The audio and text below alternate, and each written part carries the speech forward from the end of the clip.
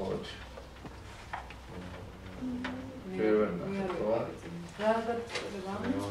ლევანი მოიწევდა. ჩუქების გაუქმებასთან დაკავშირებით, ხო? რომ საფრთხე ელექტრონული არ ქონდა, თორე გადმოგიგზავნეთ, მაგრამ ნუ წერილობთ იგი. წელს თუ გვექთან სათავე. კი, როგორ არა, ხო? სიმაღლეზე ითქვა, ხო, 2013 წლის 1 აპრილის გადაწყვეტილება.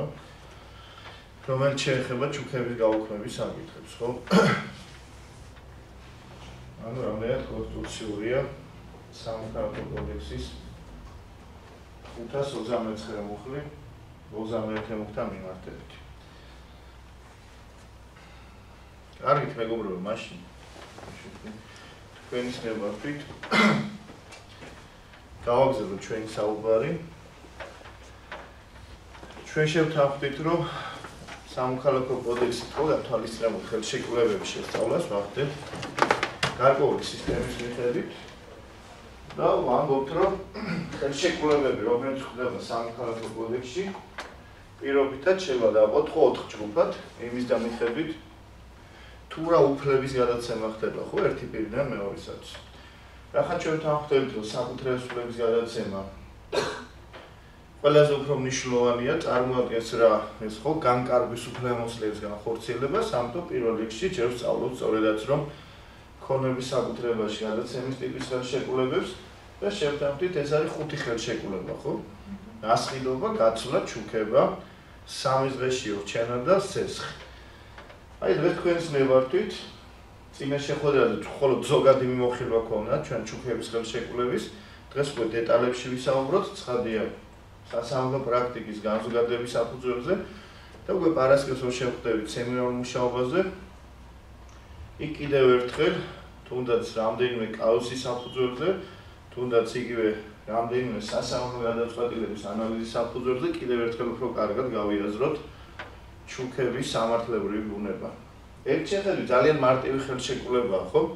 როდესაც ჩვენ გამოხატავთ რა კეთილგანწყობას, გულუხობას, მადლიერებას, პატივისცემას დასაჩუქრებულის მიმართ გადავწევთ ხო ქონებას საკუთრებაში ისე რომ სანაცვლოდ არაფერს არ უღებულობთ და ამით განსხვავდება ხო? ჩუქება თუნდაც სხვა თუ არაფრით ნასყიდობისაგან როცა ხდება შემხდრიან აზღაურების მიღება ამით განსხვავდება ხო? ჩუქება თუნდაც კაცვლისაგან როდესაც გასაცვლელი ქონება არატოლფასოვანია ანუ თქვათ მე ვახოს გავუცვალე ეს მარკერი იმ კომპიუტერში თუ ახოთ ანახმა რა თქმა უნდა და მივხვდით იმისა რომ ეს კომპიუტერი 1000 ლარი და თქვათ ეს მარკერი 10 ლარი მაინც არ არის ხوش ჩუქება, იმიტომ ეს არის კლასიკური გაცვლა მოგზავნის და ქონებრივი სარგებლის მიიღება ამ შემთხვევაში არ წარმოადგენს შეთანხმების თავარ მიზანს. ანუ ჩუქების თავარი არსი არის სწორედ ის, რომ ხდება ჩუქებლის ქონების შემცირება და დასაჩუქრებულის ქონების გაზრდა შემხოდრი ანაზღაურების მიღების გარეშე. ჩვენ წინა შეხვედრაზე ვისაუბრეთ სწორედ ამ სამ ძირითად ნიშანზე, როგორიცაა ჩუქების სამხრივ ბუნება, თუმცა ვთქვით, რომ ეს არის ცოტა საკამათო საკითხი დღეს დოქტრინაში, რომ ჩუქება ყოველთვის არის რეალური ხელშეკრულება, რომის დადებულად ითვლება არა როდესაც მხარები მიაღწევენ შეთანხმებას ყველა მის არსებით პირობაზე, არამედ ნივთის გადაცემის მომენტიდან და ვთქვით რომ ის არის ყოველთვის უსასყიდრო ხასიათის და ჩუქების სამართლებრივი ბუნება არ იცვლება იმით რომ თუ თქვათ იგივე ცრურწმენები არსებობს ხო? ახოს ვაჩუქე მე პირობითად საათი ან ცრუსახოცი ან თქვათ ლითონის რაიმე ნივთი თქვათ სანადირო დანა და მე რა არ ვეჭხობთ ხო? ჩვენ სიმბოლურად 5 თეთრი გადამიხარ და 20 თეთრი ფასი არის ხო? საზოგადოებაში დამკვიდრებული აზრი. ეს მაინც არ უცვლის ჩუქებას უსასყიდრო ხასიათს ჩვენ ასევე შევთანხმდით მეგობრებო, რომ თუ პირობითად მე ბატონი ლევანისგან სესხათავი 1000 ლარი, მაგრამ უზრუნველყოფა მოახდინე. 10000 ლარა ღირებული თქვა საათით და გირავნობის ხელშეკრულებაში ჩავდეთ პირობა, რომ მე თუ ლევანს ვერ დაუბრუნებს სესხს, ეს საათი ხდება მისი საკუთრება, მოიხსენება თუ ეს უკვე შესაძლებელია, ეს მაინც არ იქნება ხო ჩუქება, მე თუ რა შემთხვევაში ადგილი აქვს მოთხოვნის უზრუნველყოფის საშუალებად მოძრავინების გამოყენებას.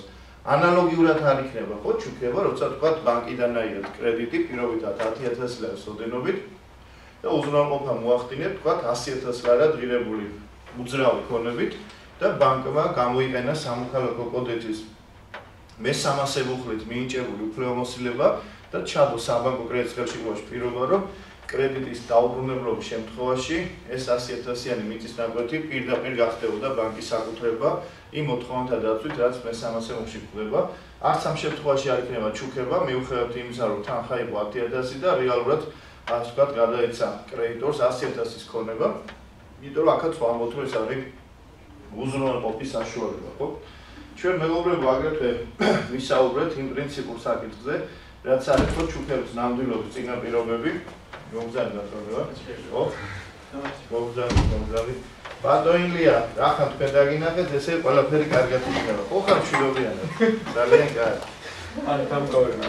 ძალიან კარგი. მე თვითონ კარგად გამყოფოთ, იმიტომ რომ კარგი შვილები ხარ და მე მიხარია ხოლმე თქვენთან რომ მაქვს ურთიერთობა. თუნდაც ვერაში ვოქცაა, ხო? შესაბამისად, მეგობრებო, ჩვენ ასევე ვისაუბრეთ იმ ნიშნავან პრობლემაზე, რასაც ზოგადად სარგებლის ინსტიტუტი ქვია, ხო, სამოქალაქო სამართალში და შევთანხმდით, რომ ის დათქვენება 15 მოხსნით მასწავლით. არასრულწლოვანთან მიმართებით, რომ მას გარიგებით დასადებად არ ჭირდება კანონიერ წარმოების თანხმობა თუ ის სარგებელს დებულობ, ძირითადად მაინც ჩუქებასთან არის დაკავშირებული, მაგრამ თქვით რომ სარგებელი არის შეფასებითი კატეგორია და არ ნიშნავს მხოლოდ მატერიალურ სიკეთის მიღებას, ის უნდა განვიხილოთ აგრეთვე პედაგოგიური, ფსიქოლოგიური და სხვა ზნეობრივი საკითხების ასპექტშიც, რომ თქვა, რამდენად იყოს სარგებელი ამ კონკრეტულ შემთხვევაში. და შევჩერდით იმ საკითხზე, რასაც ქვია ჩუქების დაპირება, ხო? და ვთქვით, რომ ჩუქების ერთ-ერთი მთავარი არსებითი ნიშანი არის, რომ ის დადებულად ითვლება არა თქვა მე და დათო რომ შევთანხმდით, რომ ვაჩუქებ კომპიუტერს, არამედ როცა ზრიანურად მოხდება დათოსთვის კომპიუტერის საჩუქრები გადაცემა, თუმცა იმავდროულად შევთანხმდით, რომ ჩუქების ნამდვილობა, ანუ რა მომენტიდან ჩაითვლება დადებულად და რა მომენტიდან გადადის საკუთრების უფლება, დამოკიდებულია აგრეთვე რა არის ჩუქების საგანი, ხო? ახლა თუ ლევანი და ვახო შეთანხმდა, რომ ლევანი თქვა წნეთში აღარ აქვს საჩუქრებს პატრონახტანს, ბუნებრივია რომ ამ შემთხვევაში ის რომ გასაღები გადასცა, ის რომ ახო ოჯახთან ერთად ცხოვრობს წნეთს აგარაკზე, ის რომ თუნდაც წერილობი დაიდო ხო პატრონებან, ჯერ კიდევ არ ნიშნავს რომ აგარაკი ვახოსია, იმიტომ რომ მოიხსენებათ რომ 193 მუხლი დამატებით ითვალისწინებს რეესტრში რეგისტრაციის ვალდებულებას იმისაც რომ უძრავქონებაზე წარმოიშვა საკუთრების უფლება. რაც შეეხება მოძრავქონებას, ახლა მედალელა თუ შევთანხმდით ამ მარკერის ჩუქებასთან დაკავშირებით, საკმარისია 196 მუხლიდან გამომდინარე, ერთ-ერთი მოქმედების განხორციელება, ხო, იქნება პირდაპირ ფლობელობაში გადაცემა, არა პირდაპირ ფლობელობაში თუ მესამე პირისგან მიფთის გამოთხოვის უფლების მინიჭება. მაგრამ ეხლა რაც შეეხება ჩუქების დაპირებას, რომელიც ჩვენი კოდექსით გათვალისწინებულია 525 მუხლის მესამე ნაწილში, კლასიკური გაგებით, რა თქმა უნდა, ის არ წარმოადგენს ჩუქებას, იმიტომ ჯერ არ მომხდარა ნიფტის გადაცემა. ეს შეიძლება ჩვენ განვიხილოთ როგორც თქვენს მიერ წინა სემესტრში ხო ნასწავლი წინარე ხელშეკრულების ერთ-ერთი ნაირსახეობა რომელიც შემდგომში წარმოშობს უკვე ძირითადი ხელშეკრულების დადების ვალდებულებას, ცხადია თუ იქნება ის სამართლებრივი წინაპირობები, რაც აი ამ დაპირებით არის განსაზღვრული. მაგრამ ჩვენ შევთანხმდით, რომ პრაქტიკის თვალსაზრისით პრობლემურ საკითხს წარმოადგენს აქვს თუ არა შემპირებელს უფლება როცა დადგება საჩუქრის გადაცემის მომენტი, უარი განაცხადოს საჩუქრის გადაცემაზე, აქვს თუ არა შემპირებელს უფლება საჩუქრის გადაცემის მომენტის დადგომამდე სამხრივად გააუქმოს დაპირება და რა სამართლებრივი შედეგი დადგება თუ სამწუხაროდ შემპირებელი გარდაიცვალა მანამ სანამ დადგება შემპირებული საჩუქრის გადაცემის ვალდებულება. ჩვენ ერთი შემთხვევა განვიხილეთ წინა შეხვედრაზე მეგობრებო, როცა შემპირებელს აქვს ვადის დადგომამდე სამხრივად გაუქმების უფლება, თუნდაც პაპის და შვილიშვილის მაგალითს შეგახსენებთ, როცა უმადურობას ქონდა ხო ადგილი შვილიშვილის მხრიდან და სასამართლომ ანალოგიით გამოიყენა ჩუქების გაუქმების მომწესრიგებელი ნორმა, მაგრამ ავიღოთ ახლა ასეთი შემთხვევა, რეალური სასამართლო პრაქტიკიდან აღებული მაგალითი. თქვათ პირობითად ბატონ ამირანს თქვათ ყავს მეუღლე და ორი მცირეწლოვანი შვილი. საკუთრებაში გააჩნია ორი საცხოვრებელი ბინა არის მატერიალურ ძალიან გამარჯვებულად უზრუნველყოფილი. ამირანის გვერდით ცხოვრობს სამოთახიან ბინაში მრავალშვილიანი ოჯახი, შვილი შვილი ყავს ოქროს და 9 სული ცხოვრობს ამ ოთახიან ბინაში. ამირას გარდაეცვალა დეიდა, რომელიც არ იყო დაოჯახებული და მან ანდერძით თელი ქონება დაუტოვა თავის დიშვის ბატონ ამირას და ამ ქონებაში სამკვიდროში შედის აგრეთვე ოროთახიანი საცხოვრებელი ბინაც. ამირანმა კანონი დადგენის წესით მიიღო სამკვიდრო ქონება და აგრეთვე კანონის მოთხოვნათა დაცვით დაპირდა თავის მეზობელს, რომ თუ შენი ვაჟი ჩააბარებს უნივერსიტეტში და წარმატებით დაასრულებს, მე აი ამ ოროთახიან ბინას ვაჩუქებ მას. მართლაც იმ 4 წლის შემდეგ ეს მომენტი დადგა, როცა მათუნა ჩააბარა კიდევა დაამთავრა უნივერსიტეტი და ხა ითხოვს შეთანხმების თანახმად ამ ოროთახიანი ბინის საჭიროა გადაცემა. თუმცა ამირანმა უარი განაცხადა შეპირებული საჭიროების გადაცემაზე შემდეგი საფუძვლით. რომ მე ამასობაშიო მესამე შვილი ჩემეძინაო ახლა იმორსო კიდადონო სახლები აქვსო მაგრამ ეს კაც ბიჭი რო გამეზდებაო მასაც ხო ჭირდება ბინაო და შენ ახლა ეს ბინა გაჩუქო ის დამჩება მე ყოველგვარი ასე ვთქვა აი ამ უზრუნველყოფის გარეშეო. ამის მიუხედავად შეპირებულმა სარჩელით მიმართა სასამართლოს და მოითხოვა მე ამ დანაპირების შესრულება. ეხლა მეგობრებო ჩვენ რომ კოდექსში მოძებნოთ ნორმა რომელიც პირდაპირ აწესრიგებს ამ ურთიერთობას არ შეგვდება მაგრამ ჩვენ თანხმდებით რომ კერძო სამართალში განსაკუთრებით სამოქალაქო სამართალში არ თუ ისე იშვიათად გამოიყენება ანალოგიის პრინციპი ანუ თქვენ გახსოვთ მეხუთე მუხლის პირველი ნაწილი რომელიც გვეუბნება ხო რომ თუ ის ურთიერთობა რომელიც საჭიროებს სამართლებრივ მოწესრიგებას პირდაპირ არ არის კანონით დათვალისწინებული და მოწესრიგებული გამოიყენება ყველაზე გზავსი ურთიერთობის მომწესრიგებელი ნორმა. და აი აქაც ახლა დღეს რო ვისაუბრებთ რას ნიშნავს ჩუქების დაუშვებლობა, კიდევ ერთხელ პარალელს გავავლებთ. კერძოდ 526-ე მოხლი ითვალისწინებს, რომ პირს არ აქვს უფლება გააჩუქოს ქონება, თუ ეს საარსებო წყაროს მოუსპობს მას, ან მის კმაყოფაზე მყოფირებს. თუმცა კონკრეტულ შემთხვევაში სასამართლო მიიჩნია, რომ არ უარესდებოდა ამ ბავშვის მატერიალური მდგომარეობა გამომდინარე იქიდან რომ ამირანს ქონდა შესავამი შემოსავალი და ქონდა შესავამი საბინაო პარტი და დაავალდებულა მას გადაეცა დაპირებულისათვის ეს საჩუქარი. ასე რომ ეს თუ კეთილ განწყობა კონკრეტულ შემთხვევაში, რაც დაპირების სახით გამოიხატება, შემდგომში შესაძლებელია სასამართლოს მიერ იძულებითაც იქნეს დაგმაყოფილებული. ეხლა რაც შეეხება მესამე შემთხვევას, როცა შემპირებელი მანამ გარდაიცვალა, სანამ დადგება საჩუქრის გაცემის ვალდებულება. აი ჩვენ გვაქვს პრაქტიკაში ერთი ძალიან ცნობილი შემთხვევა. დაახლოებით 80 წლის კალბატონი მოგდამით, რომელიც ხშირად ავამტყოფობს. მას ყავს ერთადერთი გოგონა, რომელიც გათხოვილია სხვა ქალაქში და ვერ ახერხებს ხშირად დედის მონახულებას. არა მოიხსენება თქო მოხუცებს ხშირად აწუხებს ხო განსაკუთრებით წნევა, აგრეთვე სხვა და სხვა ასე ვთქვათ დაავადებები და ეს მოხუცი თითქმის ყოველდღიურად იძახებს სასწრაფო სამედიცინო დახმარებას ბრიგადას და მის მეზობლად ცხოვრობს მედდა ეგრეთ წოდებული ექთანი ახალგაზრდა გოგონა თქვათ პირობითად ნელი რომელიც ძალიან კეთილსინისიერი არის და ყოველ საღამოს გადადის ამ მოხუცთან წნევას უზომავს ესაუბრება ამშვიდებს და აი ამ მოხუცმაც გადაწყვიტა მადლიერების ნიშნად ამ ექთანს გადასცეს საჩუქრად ძვირფასი ბეწვის ქურქი რომელიც კარადაში აქვს ჩამოკიდებული და ეუბნება რომ შვილო მე მაგი მაინც აღარ დამჭირდებაო თუმცა ამ საქმეს რო ეცნობოდი ცოტა არ იყოს მეც კითხვის რაღაც ჩუქების დაპირებას აფორმებდა ხო ეს მოხუცი ბარემ პირდაპირ ჩუქებინა მაგრამ შეიძლება იქ სხვა მეორე მომენტიც იყოს ის ფიქრობდა რომ შეიძლება ამის მერე ყურადღება არც მომაქციოს ვერ გეტყვით ახლა მე მაგრამ ეს დაპირება მოხდა ივლისში კანონის მოთხოვნა დაცვით და კურკი გადაცემული ყოფილიყო ნოემბერში ბოლოსთვის მაგრამ სამწუხაროდ სექტემბერში ეს მოხუც ქალბატონი გარდაიცვალა. ეხა მისმა გოგონამ მიიღო სამკვიდრო ქონება და ამის მერე მიბძანდა ეს ექთანი მასთან წარადგინა ჩუქების დაპირების ხელშეკრულება, რომელიც კანონს მოთხოვნა დაცვის იყო გაფორმებული და ითხოვს შეპირებული ქორკის გადაცემას. თუმცა მე მკვიდრე უარს ეუბნება იმ საფუძვლით, რომ ეს დაპირება არის პირადი ხასიათის ვალდებულება, მოქმედებს ხოლო ჩემპირებლის სიცოცხლის განმავლობაში და მისი გარდაცვალების შემთხვევაში ეს ვალდებულება წყდება. მოდი ხა თქვენს ნებართვით ეს პრობლემა განვიხილოთ ცოტა უფრო ფართოდ. თქვენიცით მეგობრებო, ხო, ვალდებულების წარმოშობის საფუძვლები. და ერთ-ერთი წარმოშობის საფუძველია თქვით წინარე ხელშეკრულებაც, რომელიც ამ შემთხვევაში არის ჩუქების დაპირება და მოხდა კანონის მოთხოვნა დაცვა.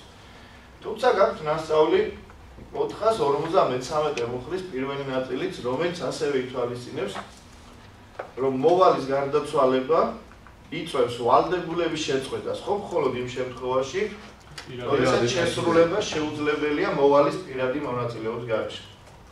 აგრეთვე თქვენ ახლა მემკვიდრეობის სამართალს პარალელურად მოსწავლობთ, ისწავლით 1306-ე მოხს, რომ გარდაცვლილი პირის ამ შემთხვევაში მას ქვია მამკვიდრებელი, რომელიც მხოლოდ შეიძლება იყოს ფიზიკური პირი, მიუხედავად ასაკისა, ჯანმრთელობის მდგომარეობისა და ასე შემდეგ, სამკვიდროს გადასვლა და სამკვიდროს ისწავლით 1322-ე მოხში, რომ ის მოიცავს გარდაცვლილის არამხოლოდ ქონებას და უფლებებს, არამედ ვალდებულებებსაც, გადადის სხვა პირებზე, ამ შემთხვევაში მემკვიდრეებზე, კანონით ან ანდერძით დადგენილი წესით და თქვენი სწავლით რა არის კანონით მემკვიდრეობა, რა არის ანდერძით მემკვიდრეობა.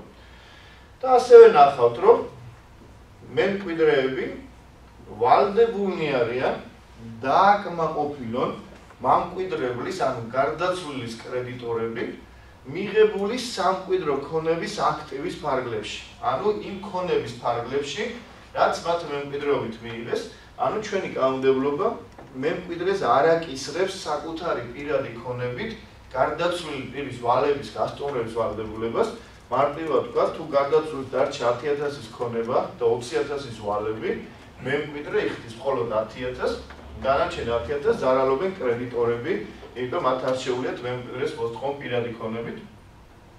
თუმცა როცა ჩვენ თავდებობას ვისწავლით, აი უკვე მძიმე შედეგი შეიძლება გქონდეს იგივე 998 მოხში, როცა გარდაცულს ყავდა თავდები და მე ეს თავდები რამდენად ზარალობს, მიუხედავად იმისა, რომ გარდაცულს არ დარჩა შესაბამისი ქონება.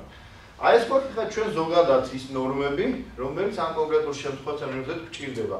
მაგრამ გვაქვს აგრეთვე ეს ძალიან მნიშვნელოვანი ნორმა, რომელიც გვეუბნება სამკვიდროში არ შედის ის ქონებრივი უფლებები და მოვალეობები, რომელიც მოქმედებს მხოლოდ და მხოლოდ კრედიტორის ან მოვალის სიცოცხლეში და წდება მათი გარდაცვალებით. აი ხა ძალიან საინტერესოა, ხო ამ კონკრეტულ შემთხვევაში ჩუქების დაპირება არის პირადი ხასიათის ვალდებულება, არის ის ვალდებულება, რომელიც მოქმედებს მხოლოდ ჩემპირებლის სიცოცხლის განმავლობაში, ან პირიქით ავიღოთ, შეპირებული გარდაიცვალა, თქვათ ის ექთანი მოყვა ავტოსაგზაო შემთხვევაში, და მისმა მემკვიდრეებმა აღმოაჩინეს ეს ჩუქების დაპირება და ის მოხუცი თქვა ცოცხალია და ითხოვენ მისგან ამ პირობის შესრულებას. ასე რომ მომზადით ეს საკითხი ესე ცალსახად ერთშორად გასაწყვეტი არ არის იგივე როცა ჩვენ კოლეგებს საუბრობთ ხოლმე ნაწილს მიაჩნია რომ სწორედ 1330 მუხიდან გამომდინარე ამ დროს წდება ჩუქების დაპირება. ნაწილს მიაჩნია რომ ის არ ჯდება 1330 მუხის რეგულირების სფეროში. სასამართლო პრაქტიკა გულსხმელად გითხრათ ამ საკითხთან მიმართებით. მაინდა-მაინც არ ხვდება ხშირად ესეთ შემთხვევები, იყო თავის დროზე ერთ კონკრეტულ შემთხვევა, რომელმაც განმარტა, რომ ეს ვალდებულება გადავიდა შემპირებლის მემკვიდრეზე და შესაბამისად დააკისრა მას, თქვა ამ კონკრეტულ შემთხვევაში მოგდანით ამ ქურქის გადაცემის ვალდებულება, მაგრამ რო თქვა მეგობრებო, ეს სამსახად ერთმეშრომად გადასაწყვეტი პრობლემა ნამდვილად არ ვიქნებართებული, იმიტომ რომ ის 1320-ე მუხლი აი ამ კონკრეტულ შემთხვევაში ძალიან დეტალურ განმარტებას საჭიროებს. ანუ მოსაზრება რომ სადაც ორი იურისტია სამი აზრი არსებობს, აი ამ ნორმასთან მიმართებით კიდევ ერთხელ დასტურდება, იმიტომ რომ ნაწილი თქვენთაგანი შეიძლება მიემხროთ იმ პოზიციას, რომ მემკვიდრე ვალდებული ეს კურკი გადასცეს შეპირებულს, ამ ნაწილმა ჩათვალოთ, რომ ამ შემთხვევაში სწორედ ამ ნორმების ერთობლიობისა და ანალიზის საფუძველზე შეწყდა სიტყვაზე ამ შემთხვევაში ჩუქების დაპირების შესრულების ვალდებულება. ასე ეს პრობლემა შეიძლება შეგვდეს სასამართლოში, რეალურ ცხოვრებაში და სხდია რომ თქვენი მოსაზრება ძალიან მნიშვნელოვანია ამ კონკრეტულ საკითხთან მიმართებით და ჩვენ როგორც შევთანხმდით, მე არასდროს არ გზღუდავ თქვენ მსჯელობაში, თუნდაც იქიდან გამომდინარე რომ ეს არის რა თქმა უნდა თქვენს მიერ კონკრეტული ნორმის განმარტებასთან დაკავშირებით თქვენი დასალუთებული, არგუმენტირებული მსჯელობა და შესაძლებელია დღეს უმცირესობაში იყოს თქვენ ამ პოზიციით, მაგრამ ხვალ პრაქტიკამ თქვა, რომ ეს არის უკვე უმრავლესობის პოზიცია და შედეგი რა თქმა უნდა არ იქნება შეფასების თვალსაზრისით იმაზე დამოკიდებული თქვენ ამას ჩათვლით პირად ხასიათს ვალდებულება თუ პირიქით ფართო განმარტებით იტყვით რომ ეს გადადის მემკვიდრეობა თუ თავარია ჯერობის უნარი რატო ამ კონკრეტულ დასკვნებს ესე შევთავაზოთ რომ ჩუქების შეფირება არ არის ძალიან მარტივი სამართლებრივი ინსტიტუტი მას შეიძლება გართულებებიც მოყვეს მომავალში. ეხლა ჩვენთვის ძალიან პრინციპული საკითხია ჩუქების დაპირებასთან ერთად სამ სამართლებრივი ინსტიტუტის დეტალური ანალიზი, რას ნიშნავს ჩუქების შეზღუდვა, რას ნიშნავს ჩუქების დაუშვებლობა და რას ნიშნავს ჩუქების გაუქმება, რაც რა თქმა უნდა ერთ-ერთმანეთთან განსხვავდება, როგორც ჩინარსის, ისე შედეგების მიხედვით და მე რა სასამართლო პრაქტიკა გვაქვს, თქვა ამ კონკრეტულ პრობლემატიკასთან მიმართებით. ეხლა მეგობრებო, თქვენ კარგად მოგეხსენებათ, რომ სამოქალაქო სამართლის უმთავრეს პრინციპს წარმოადგენს ნების ავტონომიის პრინციპი, რა თქვენ გაქვთ ნასწავლი, თუნდაც მეათე მუხლის მეორე ნაწილში, ხო? და ასევე კარგად მოგეხსენებათ, რომ ნების ავტონომიის პრინციპის ყველაზე მნიშვნელოვანი გამოვლინებას წარმოადგენს 319 მუხლის პირველი ნაწილი. რასაც ხვალგორად ქვია ხელშეკრულების თავისუფლების პრინციპი. მაგრამ იმავდროულად კარგად მოგეხსენებათ, რომ სამოქალაქო სამართალი ამ პრინციპს არ იცნობს ხო აბსოლუტური გაგებით და ცალკეულ შემთხვევებში შესაძლებელია ამ პრინციპის შეზღუდვაც მოხდეს. და თავისუფლად მოგეხსენებათ, რომ ხელშეკრულების თავისუფლების პრინციპი ორი გამოვლინებით შეიძლება გავარგო. ესე იგი, გამოგვეცხადოს თუ ზოგადად თქვა გამოვლინდეს, ეს არის ხელშეკრულების დადების თავისუფლება და ხელშეკრულების შინაარსის თავისუფლება. და როცა ჩვენ საუბრობთ ჩუქების შეზღუდვაზე, აი აქ მოქმედებს თქვენს მიერ 319 მუხში ნასწავლი პრინციპი, რომელსაც ქვია, თქვა ერთ შემთხვევაში სახელმწიფოს ნებართვის საჭიროება კონკრეტული ხელშეკრულების დასადება. ანუ თქვენ გახსოვთ ხო, რომ ცალკეულ შემთხვევაში საზოგადოების ან პიროვნების ან ზოგადად სახელმწიფოებრივი ინტერესებიდან გამომდინარე ხელშეკრულების დადებას შეიძლება დაჭირეს ნებართვა ვთქვათ, ბატონ მოუჩამ გადაწყვიტა სანდროს აჩუკოს სანადირო დანა. სანდროს თანახმა უჩასაც დიდი სურვილი აქვს, მაგრამ საკმარისია მხოლოდ მათი თანხმობა და ნების გამოვლენა. არა, ხო, ბატონ დავითი, გვეთანხმება, რომ ეს არის, ხო? შეზღუდული კრუნაუნარიანი ნივთი, ვთქვათ, კონკრეტულ შემთხვევაში რომლის გადაცემასაც შეიძლება ნებართვა ჭირდება, განსაკუთრებით საუბარია ცეცხლსასროლიერებთან მიმართებით, ხო? მაგრამ ახლა დანასთან დაკავშირებითაც იცით თქო რომ გარკვეული შეზღუდვები არის. ხო მაინც კამდეულ დადიან ჯერთი 21 წლამდე ეს უკვე აიგრძალა რაც რა თქმა უნდა სწორიც არის მაგრამ განსაკუთრებით ხო ამას ვამბობ მინიმალური ასაკი ძალიან სწორია და მით უმეტეს მომავალშიც გამომდინარე იმ ძიმე შედეგები და რაც ამ ნივთი შეიძლება მოყვეს. ეს ნებართვები საჭიროა მაგრამ თუ აღმოჩნდა ეს არის ხო მონაგერი არის ხო ნებადართული და აქ ამის შენახვის პრობლემა მაინც ცხადია რომ იქნება მარცომიერი ანალოგოდ ბატონ ლევანს მემკვიდრეობით შეხვდა, თქვათ, ბებიის ბებიისაგან დატოვებული ნივთი, რომელიც მართალია მის საკუთრება, მაგრამ წარმოადგენს საქართველოს ეროვნული საგანძურის კარკოულ შემადგენელ ნაწილს, კულტურულ მემკვიდრეობას მიკუთვნებულ ნივთს. ლევანს ძალიან დიდი სურვილი ჰქონდეს, რომ ეს ნივთი გააჩუქოს, მას ჭირდება სახელმწიფოს კომპეტენტური ორგანოს ნებართვა, იმიტომ რომ ამ შემთხვევაში კამდებელი ამბობს, რომ კულტურულ მემკვიდრეობას მიკუთვნებულ ნივთები სპეციალურ რეჟიმს ეთქვემდებარებიან. აგრეთვე ჩუქების შეზღუდვის გამოხატულებას წარმოადგენს თქვენს მიერ კარგად ნასწავლი ხო ნებართვების ინსტიტუტი განსაკუთრებით საუბარია არასრულწლოვანთა თუ შეზღუდულ ქვედუნარიან პირთან დადებულ კარიგებებთან მიმართებით ანუ შევთანხმდეთ რომ ჩუქების შეზღუდვის მთელი ასე ვთქვათ ხიბლი და არსი არის იმ ასე ვთქვათ პირთა დაცვა საუბარია მესამე პირებზე ზოგადად საზოგადოებაზე ვის მიმართაც შესაძლებელია რომ ამან მავნე უარყოფითი შედეგები წარმოშოს, ხო? მაგრამ ამისგან განსხვავებით ჩუქების დაუშვებლობის მიზანი არის უკვე თვითონ ჩუქებლის პიროვნების, მისი უფლებების, მისი კანონიერი ინტერესების რეალური დაცვა და უზრუნველყოფა. აი ამას ვინა მიაქციოთ ყურადღება, რომ თუ კი ჩუქების შეზღუდვა მიზნად ისახავს ჩვენი მესამე პირების და ზოგადად საზოგადოების ინტერესების დაცვას, აი ამ ნაჩქარი ნივთის ფისობრივი ხარისხობრივი მახასიათებლებიდან გამომდინარე ჩუქების დაუშვებლობა უკვე მიზნად ისახავს თვითონ კონკრეტულად ჩუქების პიროვნების ინტერესების დაცვას. ეხლა რაში გამოიხატება ეს და ბუნებრივია, მოდი დეტალურად ვისაუბროთ. ეხლა მეგობრებო, ავიღეს გასაღები პირობითად თქვენი თანდასწრებით და ვეუბნები ილიას, ა ბატონო, დაბლოკია ჩემ მანქანა, ატეკ პასპორტი და ჩუქნი ამ მანქანა ჩემ ბატონო. ეხლა გულში ფიქრობთ ხო, თუ ილია თანახმა მანქანის ჩუქებაზე, ესე იგი დაიდო ჩუქების ხელშეკრულება. მაგრამ კანონდებელი გვეუბნება რომ ბატონო ზურაბ შენ არ გაკუფლება გააჩუქო მანქანა ბატონო. მე აღშფოთდი და ვამბობ რას ქვია მე თუ არ მესაკუთრე.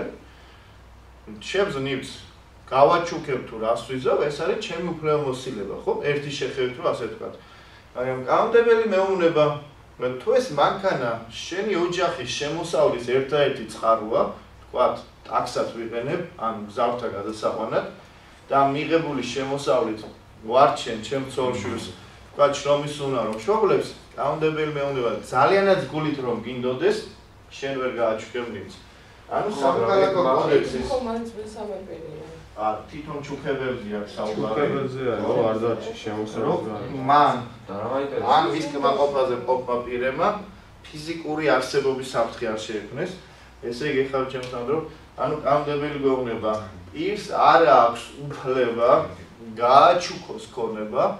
თუ ქონების გაჩუქების შედეგად მას მოესპობა საარსებო წყარო და ვეღარ შეძლებს თავისი თავის ან თავის კმაყოფაზე მყოფი პირების რჩენას და მატერიალურ უზრუნველყოფას. რა შეკითხვა გქონდათ? ან ეს როგორ უნდა გაკონტროლდეს ხო. აი ჯუქები ეს ეს ხა სხვა საკითხია რა თქმა უნდა. ანუ მეგობრებო, ვინ არიან ხო ის პირები, ვისი რჩენაც თქვათ ჩვენ გვევალება? აი ამას თქვენ ყველაფერს ხო საოჯახო სამართალში დეტალურად ისწავლით და ამ პირებს მიეკუთვნება ხო შობელები არასრულწლოვანი შვილების მიმართ აგრეთვე სრულწლოვანი, მაგრამ შრომისუნარო შვილების მიმართ. სრულწლოვანი შრომისუნარიანი შვილები შრომისუნარო და მატერიალური დახმარების მიმღები მშობლების მიმართ.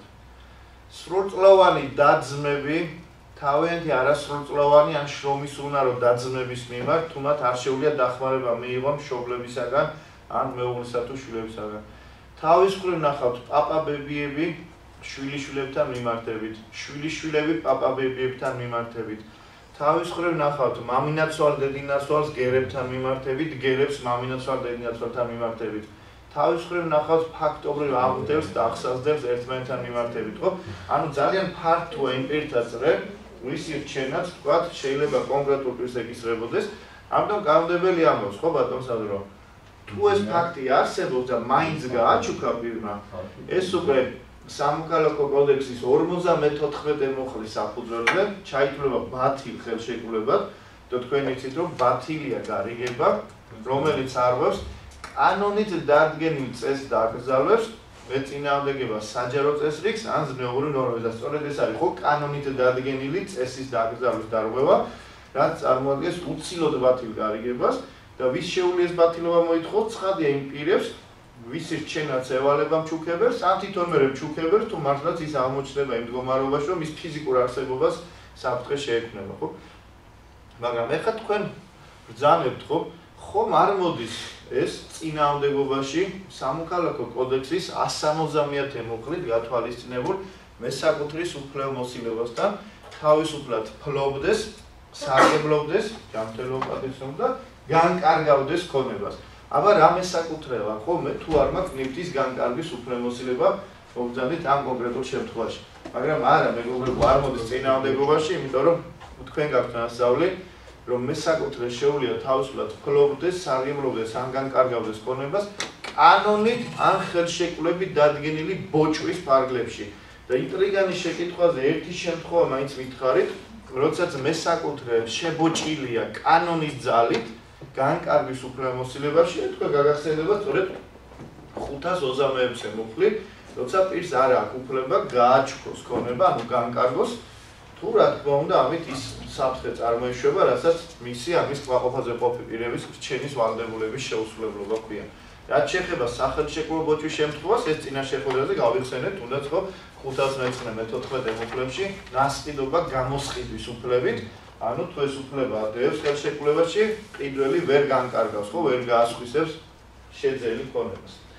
ესე იგი, ჩუქების დაუშვებლობის მიზანი კიდევ ერთხელ შევთავაზეთ ყოფილა თვითონ უშუალოდ ჩუქებლის ან იმ მესამე პირების, ასე ვთქვათ, ორ შებოჭილია ხო ეს წრე, ანუ კმაყოფაზე მყოფი პირების და არა ზოგადად საზოგადოების თუ სახელმწიფოს ინტერესების დაცვა.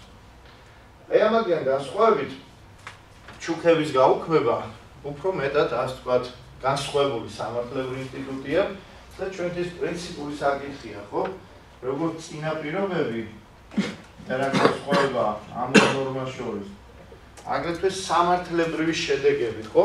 რა ჩუქების გაუქმებას მოყვება და ამასთან მიმართებით ჩვენ წინაზე შევთანხმდით, რომ თქვენ საკონსტიტუციო სასამართლოს გადაწყვეტილებას მოიძიებდით, ყოველ შემთხვევაში თუ ვერ ნახეთ მე მაინც წამოღებული გაქვთ და რამდენიმე სიტყვით ვერ ეგეთქვით თუმცა პარასკევამდე იმებს ვიტყვევ რომ თქვენ ამას მე დეტალურად უფრო დაამუშავებთ რომ ვიცოდეთ რეალურად ხო რატო თქვა საკონსტიტუციო სასამართლო რომ ეს ყველაფერი სწორია და კარგია. ესე იგი მეგობრებო თქვენ როდესაც მესამე მუხლი ისწავლეთ თავის დროზე სამოქალაქო კანონმდებლობა ძალიან კარგად გახსოვთ რომ კანონმდებლობა არ ნიშნავს მხოლოდ დაწერილ სამართლებრივ ნორმებს იქნება საკანონმდებლო აქტები თავის ხრი კანონი თუ კანონქვემდებარე აქტი იქნება თქვა ინდივიდუალური სამართლებრივი აქტები თუ ასე შემდეგ არამედ კანონმდებლობა ფართო გაგებით უნდა მოვიაზრო და ის გულისხმობს ხო ზნეობრივ ნორმებსაც და ცალკეულ შემთხვევებში ჩაულებებსა და ადათებს თუნდაც იგივე ხელშეკრულების განმარტებასთან მიმართებით 19 მოხში რამდენად კარგად გახსოვთ რა არის ჩაულება განსაკუთრებით საავტო ჩაულება ტრადიცია აგრეთვე მემკვიდრეობის სამართალში ისწავლით თუნდაც 1332 მოხში რა ქონება არ შეიძლება რომ გაიყონ მემკვიდრეებმა და ის დამკვიდრებული ტრადიციის მიხედვით აუცილებლად ერთ-ერთ მემკვიდრეს გადაეცემა. რა არის ოჯახური მატიანე, საფლავის, საკულტო სულის მოსახსენებელი საგნები და ასე შემდეგ და შესაძლებელია საქართველოს ცალკეულ კუთხეებში სხვადასხვა ჩვეულება და ტრადიცია არსებობდეს. ეს უფრო შვილს უნდა გადაეცეს უმცროს შვილს გათხოვილ გოგონას თუ ასე შემდეგ. ხო პირობითად? მაგრამ როდესაც ახლა საუბრობთ ხო ჩუქების გაუქმებაზე მიმართებით, აი ეს ნორმა არის სწორედ კლასიკური გამოხატულება სამართლისა და ზნეობის ურთიერთკავშირისა და როგორ იცავს სამართალი ზნეობრივ ნორმებს აი ამ კონკრეტული მუხლის არსებობით. და ის რომ ბატონმა ვახტანგმა მე ვთქვათ ეს კომპიუტერი მაჩუქა თანაც ისე რომ ჩემგან სანაცვლოდ არაფერი მიუღია ეს მოხდა გულუხობის, კეთილგანწყობის, პატივისცემის გამოხატულება ჩემს მიმართ მე კანონმდებელი ზნეობრივად ქცევის ვალდებულებას მაკისრებს და არ უნდა მოვიქცე უმადურად და არ უნდა გამოხატო ბატონი ვახტანგის მიმართ მძიმე შეურაცხყოფად რომელიც ამ ადამიანს არა თუ ჩემთან მიმართებით არ ზოგადად სამომავლოდაც ნიფტის გაჩუქების სრულსაც კი მოუკლავს და ბუნებრივია რომ თუ ჩვენ არ გვექნება რაიმე სამართლებრივი ბერკეტები რომლის საფუძველზე ჩუქებელი ვალდებული იქნება რომ თავი შეიკავოს ამგვარი ქმედებისაგან არაზნეობრივი ქმედებისაგან. მაშინ ბუნებრივია რომ გარკვეულწილად ჩუქების ინსტიტუტის არსებობა საფრთხე შეექმნება. სწორედ აქვს დასაბუთებული. საკონსტიტუციო სასამართლო ძალიან ლამაზად სხვათა შორის და მეცნიერულად დოქტრინალური დონის ანალიზის საფუძველზე ზნეობისა და სამართლის ურთიერთკავშირთან მიმართებით ამ ნორმის კონსტიტუციურობა ანალოგიური პოზიცია უკავია საქართველოს უზენაეს სასამართლოს. და ჩვენ თანხდებით ხო მეგობრებო რომ მართალია თქვენ ჯერ პროცესი არ გისწავლიათ და ამიტომ პროცესუალურ საკითხებზე არავინ თქვენ არ მოგთხოვთ ამ შემთხვევაში გარკვეულ ცოდნას და არავინ არ დაგავალდებულებთ რომ უზენაეს სასამართლოს გადაწყვეტილებები პროცესუალურ თვალსაჩინით განიხილოთ და შეამოწმოთ წყალებში ანუ თქვენი მოსაზრება გამოხატოთ მაგრამ ჩვენ შევთანხმდით რომ იმ კონკრეტულ ხელშეკრულებთან მიმართებით, რომელსაც ჩვენ ვსწავლობთ, ჩემი თხოვნა იყო, რომ მინიმუმ ერთი გადაწყვეტილება სასამართლოსი მაინც რო გავცნობილიყავით, თუნდაც ნასყიდობაზე ძალიან კარგად დაამუშავეთ, ხო, თქვენ იგივე ავტოსატრანსპორტ საშუალებებზე როგორ ხდება საკუთრების გადაცემა და რა მომენტი ხდება მყიდველი მესაკუთრე? და ასევე თხოვნა მექნება იგივე ჩუქებასთან მიმართებით, თუნდაც ერთი გადაწყვეტილება რომ მაინც აიკითხოთ და ჩვენ შევთანხმდით, ეს არის ძალიან მარტივი თანამედროვე პირობებში და როგორც კი შემგზავრდებით ხო მუზეუმის სასამართლოს ვებგვერდზე აი შუაშივე ხო ეხატება ჩაკუჩი რომელსაც დააკლიკებთ ასე ვთქვათ და გამოჩნდება ხო მარცხენა მხარეს სამოქალაქო საქმეებზე, სისხლის და ადმინისტრაციულ საქმეებზე გადაწყვეტილებები. მონიშნავთ ხო სამოქალაქოს, გაგეხსნებათ ხო მარჯვნივ ველი და გეუნებათ საძიებო სიტყვა. ჩაწერეთ ჩუქების ხელშეკრულება.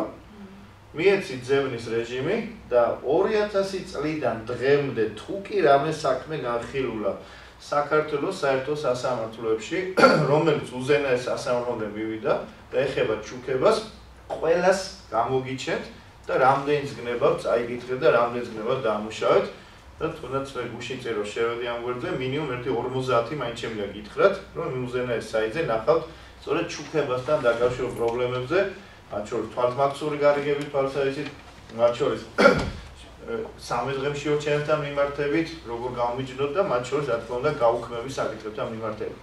ასევე ჩვენ თანხმდებით, რომ მართალია საქართველოს არ არის პრეცედენტული სამართლის სისტემის ქვეყანა, მართალია ჩემს სტუდენტობაში არსებული მოქმედი ნორმები, რომ უზენაეს სასამართლოს პლენუმის სახელმძღვანელო განმარტებები გამქვემდებარე ნორმატიული აქტის ძალისხმევი იყო, ეს ცხადია უზენაეს სასამართლოს ეს ფუნქცია გააჩნია, თუმცა უზენაეს სასამართლო ცდილობს ის როგორც მართსაჯულების უმაღლესი ბოლო ინსტანცია დანერგოს ერთგვაროვანი სასამართლო პრაქტიკა და ამისათვის ის შეიმუშავებს გარკვეულ რეკომენდაციებს ხას უსვავ არა დირექტივებს არა სავალდებულო ძალისხმევი მითითებებს. თქვა ეხლა მოგეხსენებათ საერთო სამართალში აქვს ხოლმე ორთა პალატის ან უზენაეს სასამართლოს პრეცედენტულ გადაწყვეტილებებს სავალდებულო ძალა ქვედა ინსტანციის სასამართლოებში ხო? კონკრეტული დავის განხილვა გადაწყვეტისას.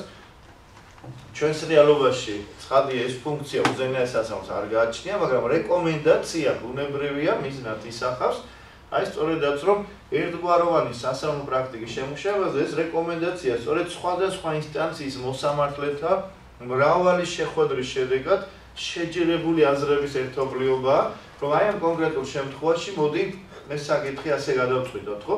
და აი მათ შორის სწორედ ჩუქების გაუქმებასთან მიმართებით მინდა თქვენი ყურადღება გავამახვილო უზენაეს სასამართლოს რეკომენდაციებიდან გამომდინარე, რომელიც 2007 წელს არის მიღებული და იგივე უზენაესის საიტზე შევგანდებით, ნახავთ თქვენ ცალკე სწორედ გრაფას უზენაეს სასამართლოს რეკომენდაციები და ერთგვაროვანი სასამართლო პრაქტიკა და იქ ნახავთ 2007, 2008, 2010, 2011 წლის რეკომენდაციებს, როგორც მატერიალური სამართლის საკითხებზე, აგრეთვე პროცესუალური სამართლის საკითხებზე, თუმცა პროცესუალური შემდეგ სემეში დაგჭირდებათ, მაგრამ აი მატერიალური სამართლის საკითხებზე ცუდი არ იქნება ხოლმე თუ გამახვილებთ ყურადღებას, იმ დროს თქვენ გეცოდინებათ. არა მარტო რა გვაქვს კანონმდებლობაში, არამედ როგორ არის ხო ეს გაგებული პრაქტიკის მიერ და ეხლა გულში ფიქრობთ ეს რა დახმარებას გაგვიწევს და რაში გამოგვადგება.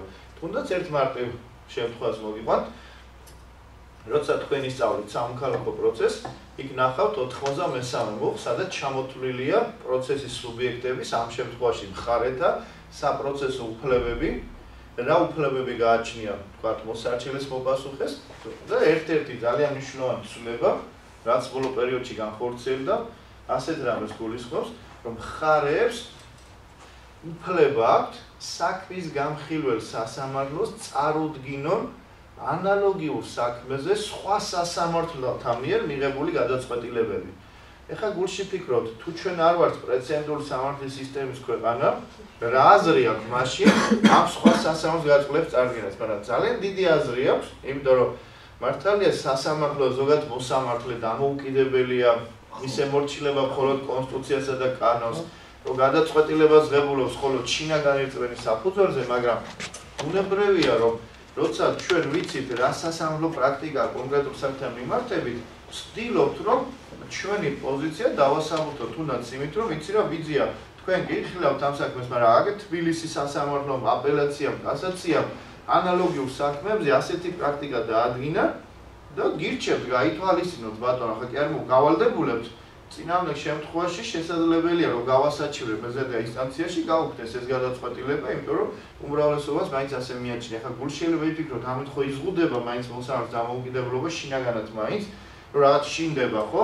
რომ მას შეიძლება სხვანაირად მიაჩნდეს, მაგრამ აგე 50 მოსამართლეს უთქვას, რომ ეს საკითხი ასე არის გადაწყვეტი, მაგრამ ყოველ შემთხვევაში თქო რომ გეცოდინებათ, რომ ეს უფლება გაქვთ, ცხადია კონკრეტულ შემთხვევაში ამით ძალიან კარგად ისარგებლებთ და შეეცდებით დაარწმუნოთ ხო საქმის გამხილული სასამართლო რატო არის თქვენი პოზიცია მართებული. ასე რომ ეს პრაქტიკის ცოდნა თუნდაც ამ თვალსაზრისით არის მნიშვნელოვანი.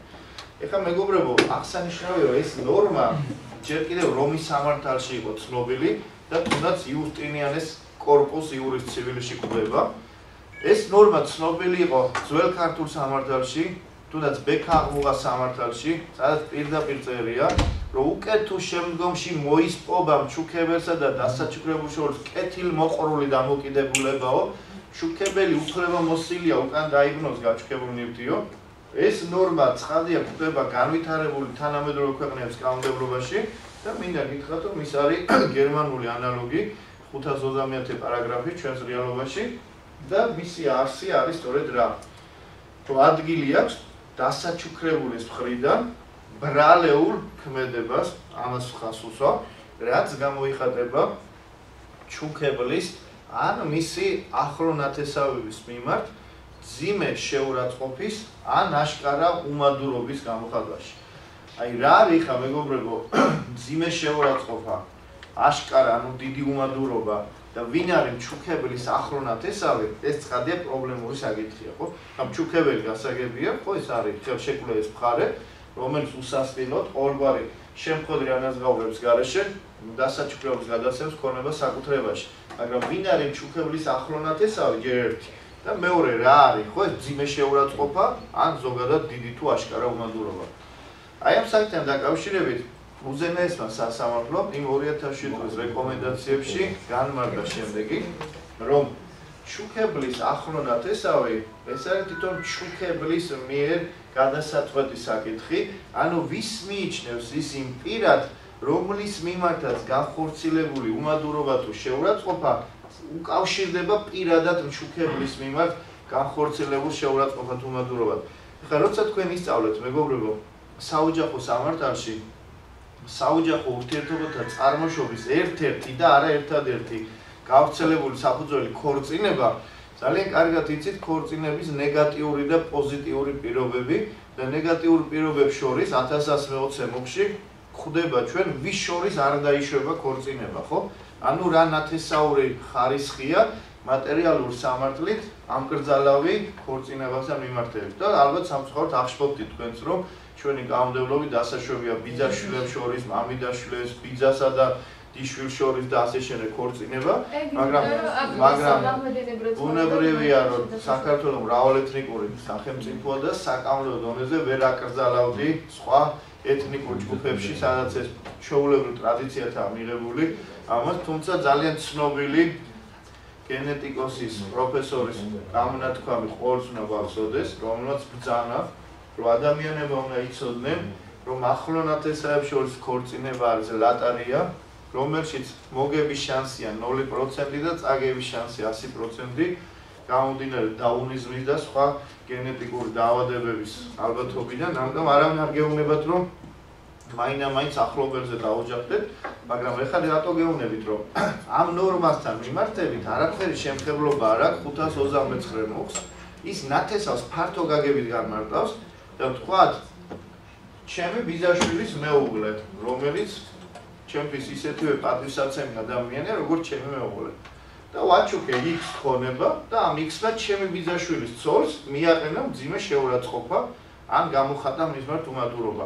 ზე არის თუ არა ეს საფუძველი იმისა რომ მე X წავართვა უკან ნაჩუქარი ნივთი მიუხედავად იმისა რომ კლასიკური გაგებით ბიძაშვილის ცოლი არ ჯდება იმ ნათესავის განმარტებაში რა თქვენ გაქვთ ნასწავლის საოჯახო სამართალში დიახ თქვა უზენაეს სასამართლო. ანუ ვინ არის ეს ახლონათესავი ვის მიმართაც? შეურაცხყოფელი ქმედება ზურას მიერ თავის თავთან ასოცირდება და გაიგება ანუ ჩუქების მიერ ეს არის ჩუქევლის შეფასების აგარი. ესეც მინდა კარგად დაიგოს. და შენი პრეზიდენტი პრეზიდენტი თუ კაკას პრეზიდენტი თუ აი ეს ადამიანი რომელიც ჩემთვის ნათესავს წარმოვიდგა ახლა და ყველა აგინებ. აა ესე იგი ბატონოილია. მოდი ხა შევთანხმდეთ. ილია რა შოკში არის. არა არა. ერთი წამი. არა მე მესვი ძალიან სწორად იყო ნათქვამი. ანუ ის შეიძლება საჯარო არა ხო აბა ეგრაშვაში. შეიძლება იყოს საჯარო მოხელე ფართო გაგებით ხო ხო თქვათ მინისტრი თქვათ შეიძლება იყოს რექტორი რა მნიშვნელობა რომელზეც სტუდენტები რაღაცაზე ნაწყენი არიან და ცუდად მოიხსენიებენ და მე რო ესმესის ბრანდები და ცხადი ხა ყველაფერი უნდა წაგართოთ პირობითად ვამო. ანუ აქ თავარია ბატონებია ეს დაკავშირებული იყოს არა მის საჯარო ფუნქციების შესრულებასთან და აქედან გამომდინარე წენასთან, არამედ ეს არის ხო სწორადაც კარგად შენიშნეთ. რაში გამოიხატება ხო ეს ძიმე შეურაცხყოფა თუ დიდი უმადურობა? ხა ბუნებრივია კოდექსი ამას ვერ განმარტავდა და ეს სასამართლოს მიანდო ამის განმარტება და სასამართლო ბძანა რომ ეს არის ქმედება რომელიც დაკავშირებულია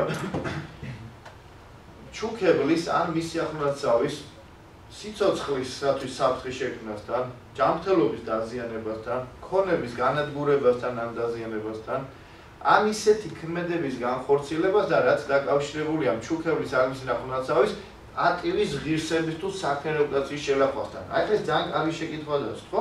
ამ ჩემი გამონათქვამებით ამ შემთხვევაში დასაჩუქრებულის ჩუქებლისათვის ძვირფასი პიროვნების პატივისა და ღირსების შელახვა თუ ხდება, ხო? ბუნებრივი არის რამდენად დასაბუთებულია თუ არ არის დასაბუთებული, ეს მეორე საკითხია, ხო? შესაძლებელია, ხო?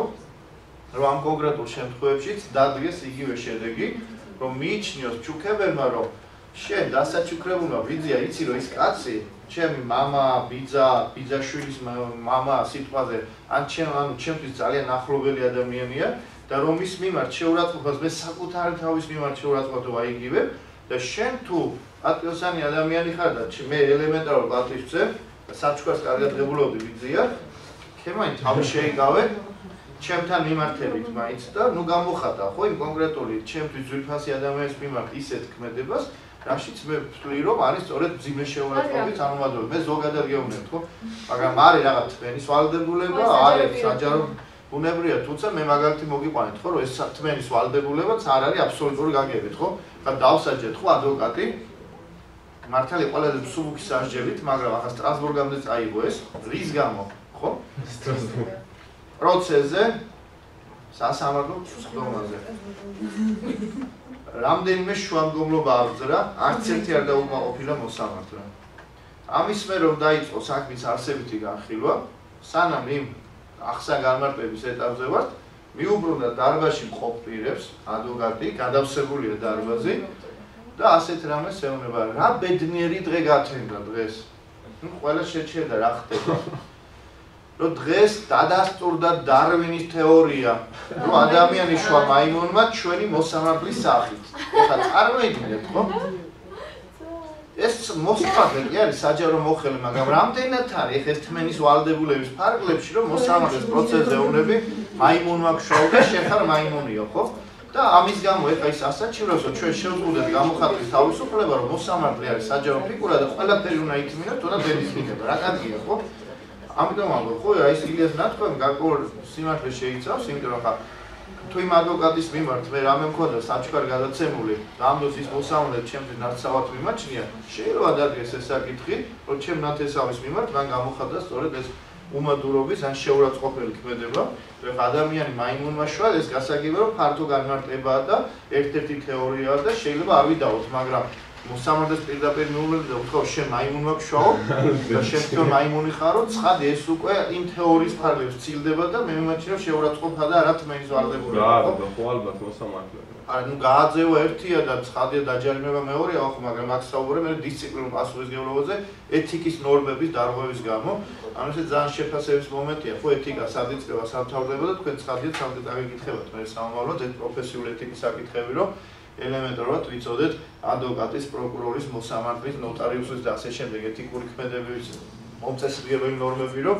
ჩვენ რო ანალოგიური თანამდებობებს დავიკავებთ, არ დაუშვათ ის შეცდომები, რაც პრაქტიკაში ხდება. ანუ შევთანხმდეთ ხო, რომ დღეს სასამართლომ მათ შორის უზენაესმა სასამართლომ თავის რეკომენდაციებში ცალსახად რამდენად სწორია ამაზე ნუ ვიკავათებ ჯანმრთელობა აი დაწუნდა სასახად შეფასება იმისა ვინ არის ნათესავი და რა არის შეურაცხყოფა მოდურობა მიანდობ ჩუქებებს.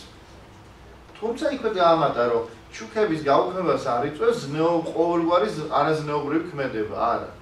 ეს მაინც უნდა იყოს სწორედ იმ კატეგორიის რასაც ქვია ზიმე შეურაცხყოფის ან დიდი უმადურობის გამოხატვა ხო რატომ შევთანხმდეთ რომ ზოგსო გონია რომ ჩუქება ძალიან მარტივია, ნამდვილად არ არის მარტივი.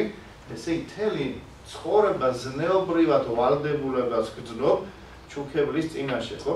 ახლა თქვენ დაგებადებათ შეკითხვა. თქვათ 10 წლის უკან გაჩუქეს ნივთი. და გუში მიაყენეთ ძიმე შეურაცხყოფა. სულ საჯაროდ ბოდიში და სულ ყოფაქცევის ხალი უძახეთ, ან თმევით ითრიეთ და რაღაცა გაუგუჭოთ, ხო?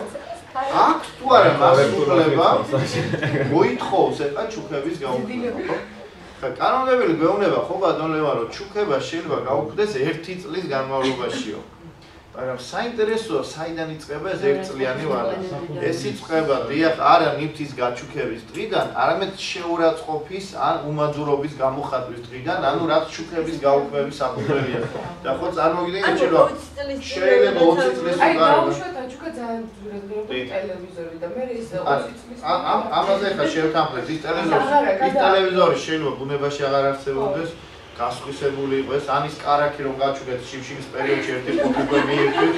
ხო იყო ხო ასეთი პერიოდი იყო სამგობაროდ თქვენ ბედნიერები ბრძანდები გულწრფელად უნდა ცხოვრებაში ღმერთმა სიზმარშიც არ გაჩვენოთ ის 90 91 12 13 წლები ჩემი სტუდენტობის პერიოდი როდესაც ეს დაავიწყდა რატომაც საზოგადოებას ისე კარგია რომ ცული უნდა დაივიწყოთ თუმცა გულში უნდა გახსოვდეს რომ დილის აი გინდა ამიჯერეთ გინდა რა.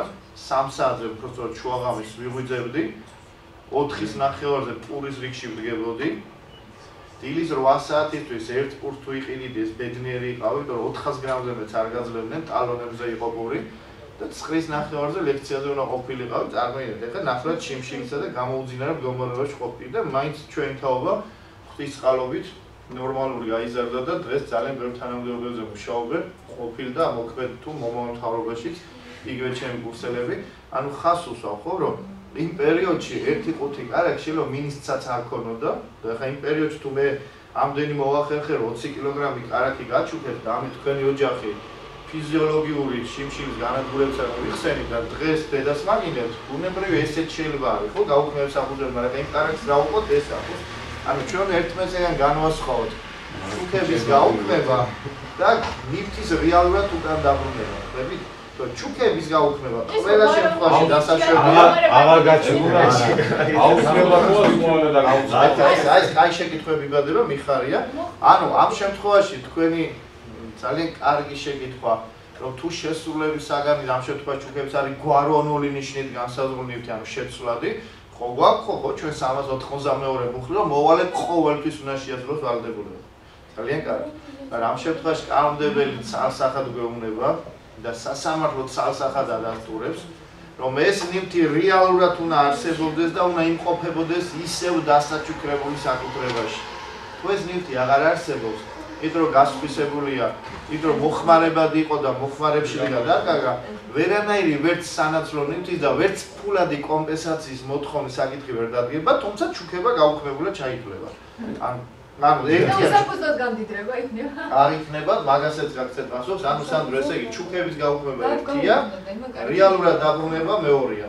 რეალური დაბრუნება ვერ მოხდება თუ ეს ერთი აღარ არსებობს თავისი ფიზიკური თუ სხვა თვისებების გამო განადგურდა ან გასხვისებულია მესამბირზე. მაგრამ თქვენი ძალიან კარგი შეკითხვაზე გაქცეთ პასუხს რომ თუ ეს ნივთი ჩუქების გაუქმების პროცესში დასაჩუქრებული საკუთრებაში იმყოფება მაგრამ გადაწყვეტილების ახსრულებამდე გაასხვისა ან გაანადგურა და ასე შემდეგ, აი მხოლოდ ამ ერთ-ერთ შემთხვევაში წარმოეშვება ჩუქებელს კონდუქციური სარჩელის, ანუ უსაფუძვლო განდრების საფუძველზე უკვე შესაბამისად ზიანის ანაზღაურებს, ანუ თანხის მოთხოვნილება. ეს არის ერთ-ერთი შემთხვევა, თუ კი ეს ნივთი მართლაც ქონდა დასაჩუქრებულს, მაგრამ გადაწყვეტილების ახსრულებამდე გაასხვისა, ან მოსპო ან გაანადგურა. სხვა ერთ შემთხვევაში არც უსაფრთხო განგრევის ნორმები ამოქმედება, ვერც გვაროვნული ნივთის ნატურის შესრულების ვალდებულება და ვერც ფულადი კომპენსაცია თუნდაც ინდივიდუალური ნივთის გაჩქების შემთხვევაში. ეს მინდა კარგად დაიხსოვოთ. ანუ ერთია ჩუქების გაუქმება, თუმცა გულში ფიქრობთ, გაუქმების მიზანი ხო ის არის, რომ ეს ნივთი უკან დავიბრუნო? შესაძლებელია ფართო გაგებით ასე იყოს, მაგრამ ვიწრო გაგებით შეიძლება მე სულიერი შვების მოპოვება მსურდეს რომ თქვა რომ შენთან არასდროს არაფერი არ მაკავშირებდა და არც მინდა რომ აკავშირებდეს ხო?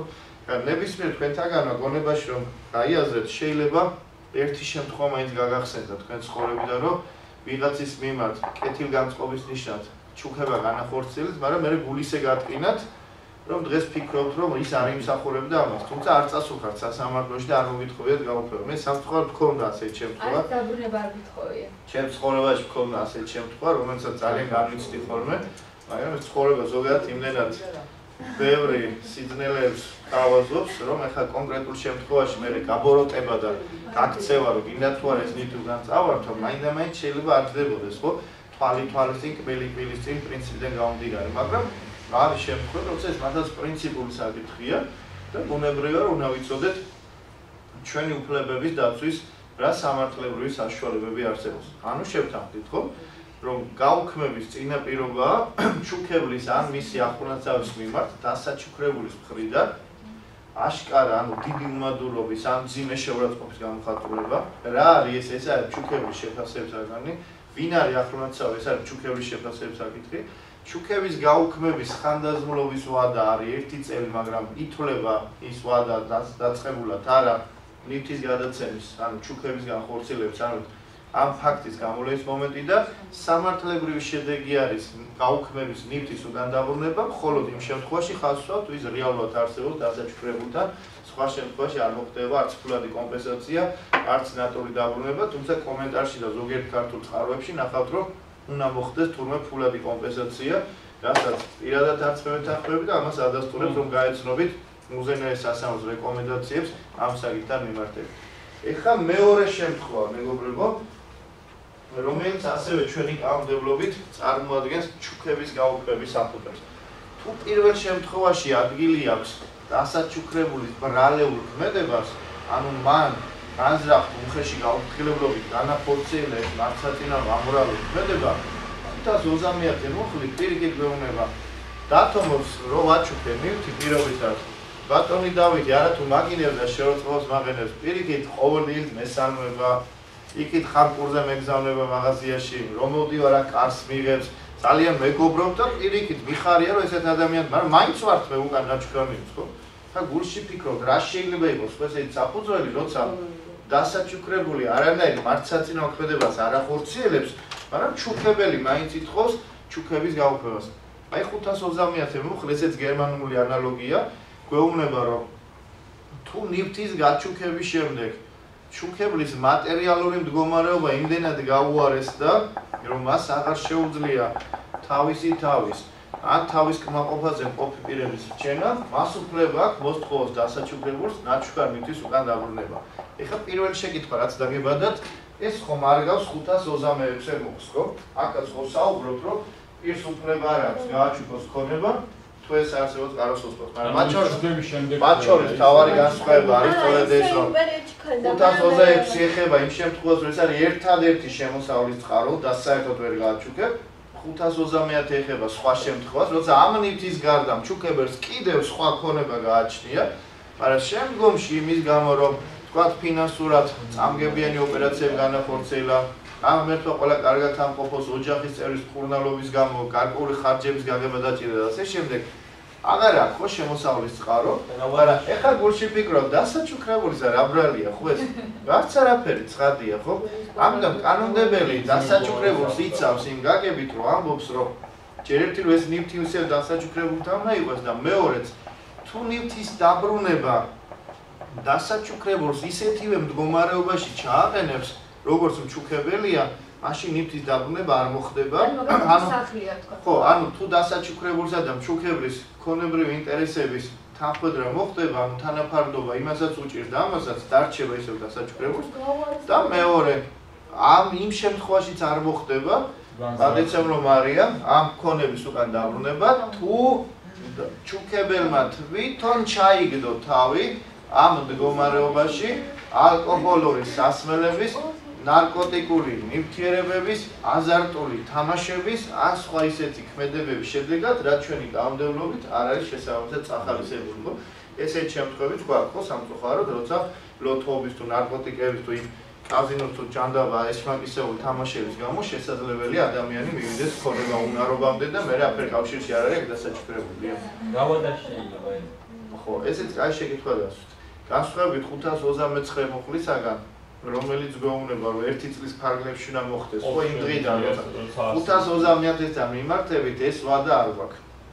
ანუ როცა ეს ქონება უნარობის საფუძველი წარმოიშვა, რავადაში უნდა მოსთხოვოს.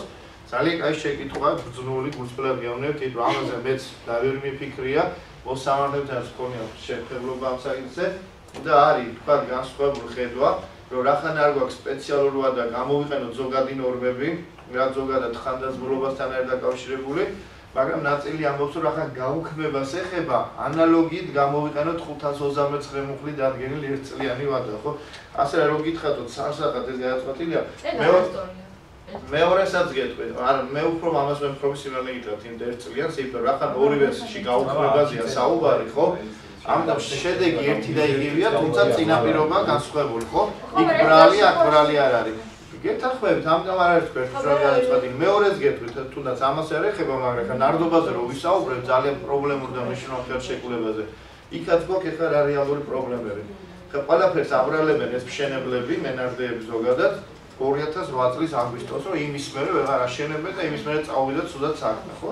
არა რეალური მიზეზები არის. სხვა რო ფული ჩაიდეს ჯიბეში და აღარ უნდა ხელშეკრულების შესრულება და დამატებებს ითხოვენ ახლა ხო? საწყალი ამ შეკვეთებისგან ზოგი 3 დოლარს ხოს კვადრატულზე ზოგი მეც და მიდის და მიდის დავები და ბუნებრივია რომ აქაც არის პრობლემა.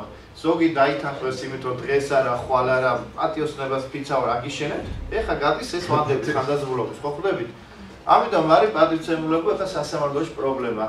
რამდენ წლიანი ხანდაზმულობა გამოიყენება როცა ნარდობის საგანი ან კონკრეტულ შემთხვევაში იყო მშენებლობა ხო?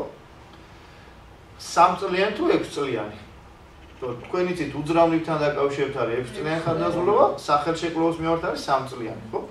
თუ 6 წლიანია, მაშინ ესენი დაცულები არიან, შემკვეთები, იმიტომ რომ ჯერ ვადები არ გასულა. თუ 3 წლიანი ქეგავიდა, იგი 2011 წლის ბოლო და 12 დასაწყისში ძალიან ბევრი ვადები და ეხლა ვერ წარაფერს ვერ მოსწყო, ხო? ვერ წვეთ სასამართლო წარმოგიდგენიათ ამ პრობლემას. უზენაეში ეხლა ეს საქმე და ელოდება თელი საქართველოს სულ მოუთმელად რა გადაწყვეტილებას მიიღებს და თელი 8-9 თვია ვერ გადაწყვეტა სასამართლო სამწლიანი ვადა გამოიყენოს თუ 6 წლიანი. ესე იგი არის მოსაზრება რომ რახან უძრავი ქონება ხელშეკრულების საგანი 6 წლიანია, არის მოსაზრება რომ მნიშვნელობა არ აქვს რა არის საგანი, მაინც ხელშეკრულება არის 3 წლიანი. ეხლა ორი ფიქრობს რომ 3 წლიანია და მესამე ფიქრობს რომ 6 წლიანია. და ეხლა მათ შორის მიდის ასთა შეჯერება. თუ 6 წლიან დაადგენენ ცხადია ძალიან ბევრი გაიხარებს ამით დაზარალებულები თუ 3 წლიან ჩათვალეთ რომ არ აზრი აღარ აქვს მე იდავე არ იდავე ანუ ეს სამწლიანი მგონია საკმაოდ ისე ხელშეკრულება. გაჩეკა სასამართლო რა პრაქტიკაზე დაადგეს. თუ 6 წლიან სიტყვის ძალიან ბევრი გახარებული დარჩება, თუ 3 წლიან სიტყვის ძალიან ბევრი დაიმუქება, იმიტომ რომ ხელახალი მისადარება ხელშეკრულები და აღმოხდენია სამწუხაროდ და არ გამოუყენებიათ. ესე იგი, მე რო დაგიდეთ თქვენ 2005 წელს და უნდა დაგემთავრებინათ 2008-ში და არ დამიმთავრებთ. ხო წარმომეშვა მე მოთხოვნის უფლება. ეს მოთხოვნის უფლება გამივიდა 2011-ში, თუ 3 წლიანია. გელოდები და ველოდები როდის ამიშენებ და არაფერ მომხდებს არ ვაფორცირებ რომ მოდი ახალი ხელშეკრულება დავდოთ გადავავალოთ და ასე შემდეგ. სამწუხაროდ ვერც კურს დავიბრუნე ვერც რაფერს ვერ მივიღე რა შეიძლება.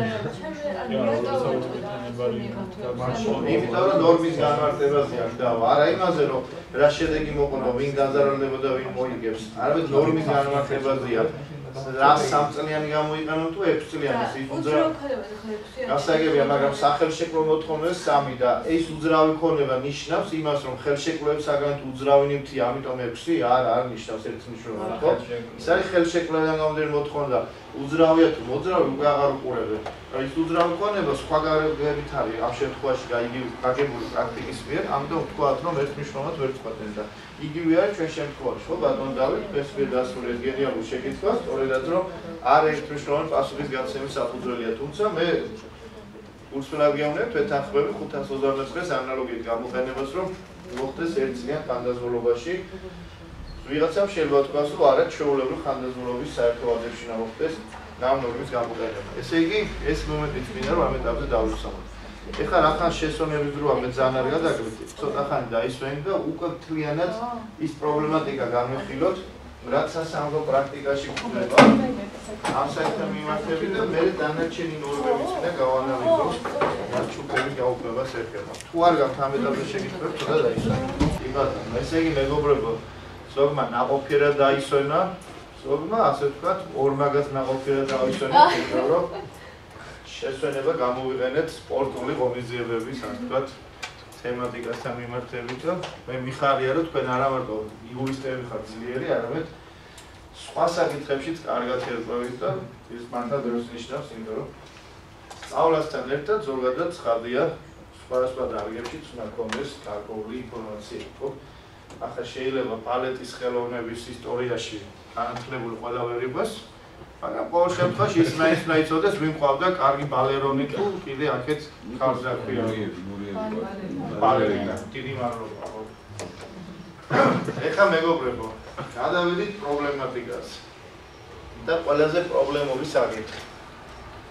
აქვს თუ არა ჩუქებლის მემკვიდრეს მოითხოვს ჩუქების გაუქმება თუ ადგილი აქვს დასაჩუქრებულის ხრიდან 530 წრემოხით გათვალისწინებ შემთხვევებს დიახ და რა შედეგი მოყვება დასაჩუქრებულის გარდაცვალებას? ანუ შეიძლება თუ არა ჩუქების გაუქმების მოთხოვნა დასაჩუქრებულის გარდაცვალების შემთხვევაში. აი ავიღოთ ეს რამდენიმე პრაქტიკული შემთხვევა.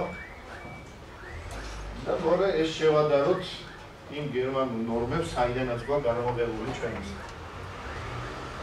ვარ A და B არიან ბიზნეს პარტნიორები 50-50 წლის პრობელი, ძალიან წარმატებული კომპანიაში. ძალიან კარგი მეგობრებიც არიან იმავდროულად. B-ს აქვს დაბადების დღე და ამ საჩუქრად გადაცა 100000 ლარა ღირებული Mercedes-ის ღირადღირებული ავტომობილი. კი, რეალურად გარბიზაში. მაგრამ სამწუხაროდ სანდრო ქართული რეალობაა, თუ გინდა რომ მე მეგობრები ერთმანეთი დაკარგონ, რაღაცა გაუკროლოს ხოდეს არის, ანუ ფული ასეს ხო, ანუ ერთად იყვნენ საქმეში სამწუხაროდ. და ერთი წლის შემდეგ მათ შორის დაიძაბა ძალიან ურთიერთობები და ალბათ ორი ვარიანტი. ბენ მოკლა, ანუ მოხდინა სიცოცხლის მოსპობა და მეორე მიაყენა სხეულის დაზიანება. ას დარჩა შვილი D. ერთ-ერთი პირველ რიგის მემკვიდრე. პირველ შემთხვევაში აქვს თუ არა D-ს უფლება შეიტანო სასამართლოში სარჩელი და მოითხოვოს B-სგან, ჩვენ არ გვაინტერესებს B-ს მიმართ რა სახი დადიობა სისხლის სამართლებრივი პასუხისგებლობა. ის სხვა საკითხია. ჩვენ გვაინტერესებს 529 მუხლიდან გამომდინარე აქვს თუ არა გარდაცვლილი ჩუქებრის შვილს შეიტანოს არჩელი ან ავიღოთ მეორე. მიაყენა სხეულის დაზიანება. ამ შეიტანა სარჩელის სასამართლოში ითხოვ ჩუქების გაუქმებას მაგრამ გადაწყვეტილების მიღებამდე გარდაიცვალა თაცხალი ჩუქებელი დარჩა შვილი დ და აქ თუ არა დეს უფლება ჩაერთოს ამ საქმეში რომელიც უკვე დაწყებულია გარდაცვლილი მშობლის უფლება მონაცვლეთ და მოითხოვო ჩუქების გაუქმება. აი სამწუხაროდ მენა გითხრათ, რომ ამ საიტთან დაკავშირებით ჩვენ გვაქვს პრობლემა. ეს პრობლემა გვაქვს არა მარტო თეორიის და კანონმდებლობის დონეზე, არამედ პრაქტიკის დონეზე.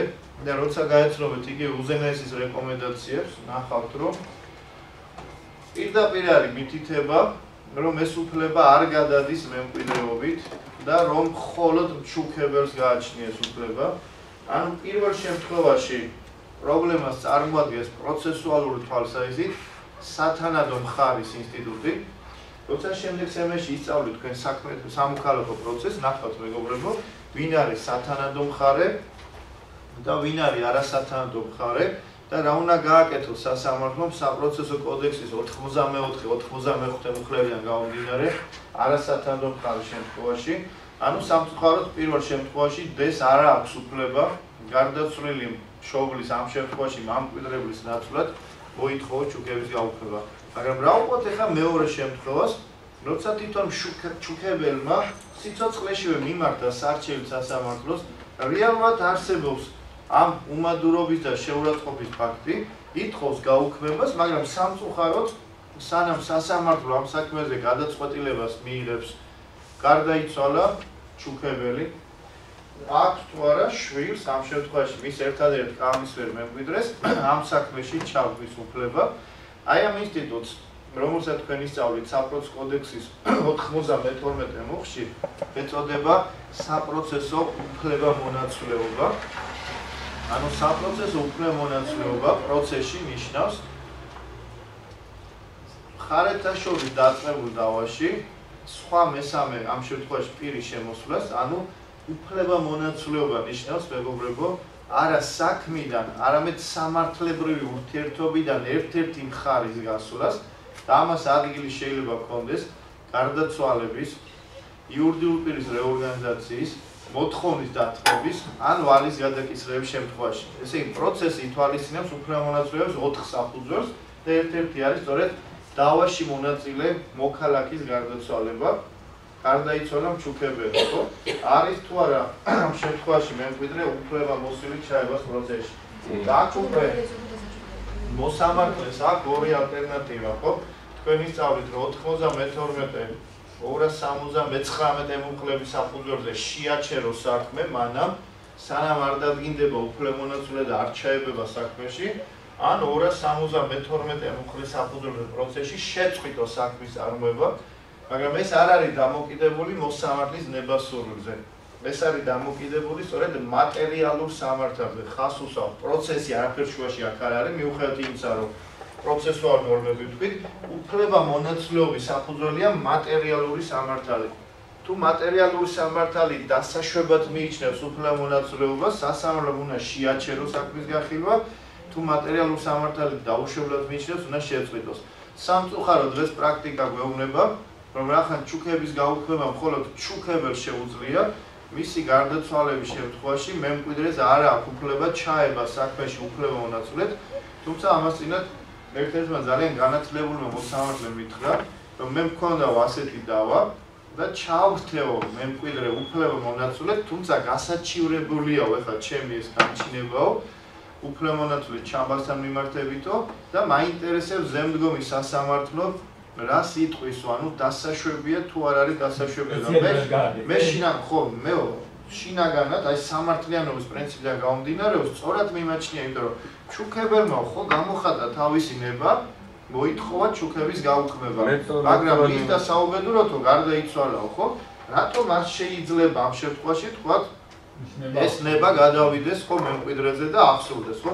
ბატონიაგრი გულწრფელადითაც მე თქვენ პოზიციას ვეთანხმები, მაგრამ რაც საკრამული ქონია შემთხვევები, ყველგან ცალსახად უარყოფითი უარყოფილია და მითითებულია, რომ მხოლოდ მჩუქებელს აღებს უფლება და ეს არის 1330 მოხდან გამომდინარე ისეთი უფლება, რომელიც და მხოლოდ პირადად კრედიტორთან არის დაკავშირებული და წდება მისი გარდაცვალებით. ასე განმარტავდა აქამდე სასამართლო. მაგრამ აი ამ მეგობარმა ჩემო ქალაქში მუშაობს, ბატონო ძალიან პატიოსანი კარგი მოსამართლეა, თქვა რომ რამდენიმე ხნის უკანო მე მქონდა ასეთი შემთხვევა და ესეთი გადაწყვეტილება მივიღე, ანუ შევაჩერე და ჩავაბი უფრო მონაცვლეა. რამდენად სწორია თუ არა, ველოდები ზემდგომ ინსტანციაში დასაჩივრებული, რას გადაწყვეტ ზემდგომ ინსტანცია. ასე რომ შემთხვევას გავხსოვდეთ, რა შედეგი შეიძლება მოყვეს ამას. ეხლა პირიქით ავიღოთ. ჩუქებელმა გადაწყვეტა ჩუქების გაუქმების მოთხოვნით მიემართა სასამართლოსთვის. მაგრამ სანამ სასამართლოს არჩილ შეიტანს დასაჩუქრებული გარდაიცვალა და დასაჩუქრებულს დარჩა მემკვიდრე თქვა ან პირიქით რომ შეიტანა ჩუქებელმა სარჩელი ითხოვს ჩუქების გაუქმებას ამ დროს გარდაიცვალა დასაჩუქრებული და დარჩა მემკვიდრე. და უკვე გარდაცვლილი თუ არა არა ერთი შემთხვევა არის რომ უკვე გარდაიცვალა სანამ სარჩელ შეიტანს მაგრამ ხავს მემკვიდრე. მეორე შემთხვევა რომ შეიტანა ცოცხალია მაგრამ მერე გარდაიცვალა და დარჩა მემკვიდრე. ანუ პირველ შემთხვევაში რამდენად შეიძლება მემკვიდრის წინააღმდეგ არჩეულ შეტანა და მეორე შემთხვევაში რამდენად შეიძლება მემკვიდრე უღოდ უკვე დასაჩუქრებული ჩაება სამსახურში. აი ჩვენს რეალობაში სამწუხაროდ პრობლემას წარმოშობს ის რომ არ გვაქვს სპეციალური ნორმა არც პირველ არც მეორე შემთხვევაში. ხა ნახეთ გერმანელებს როგორ უწერიათ 521 მუხში გერმანელებს აქვს ასეთი გენიალური რამ.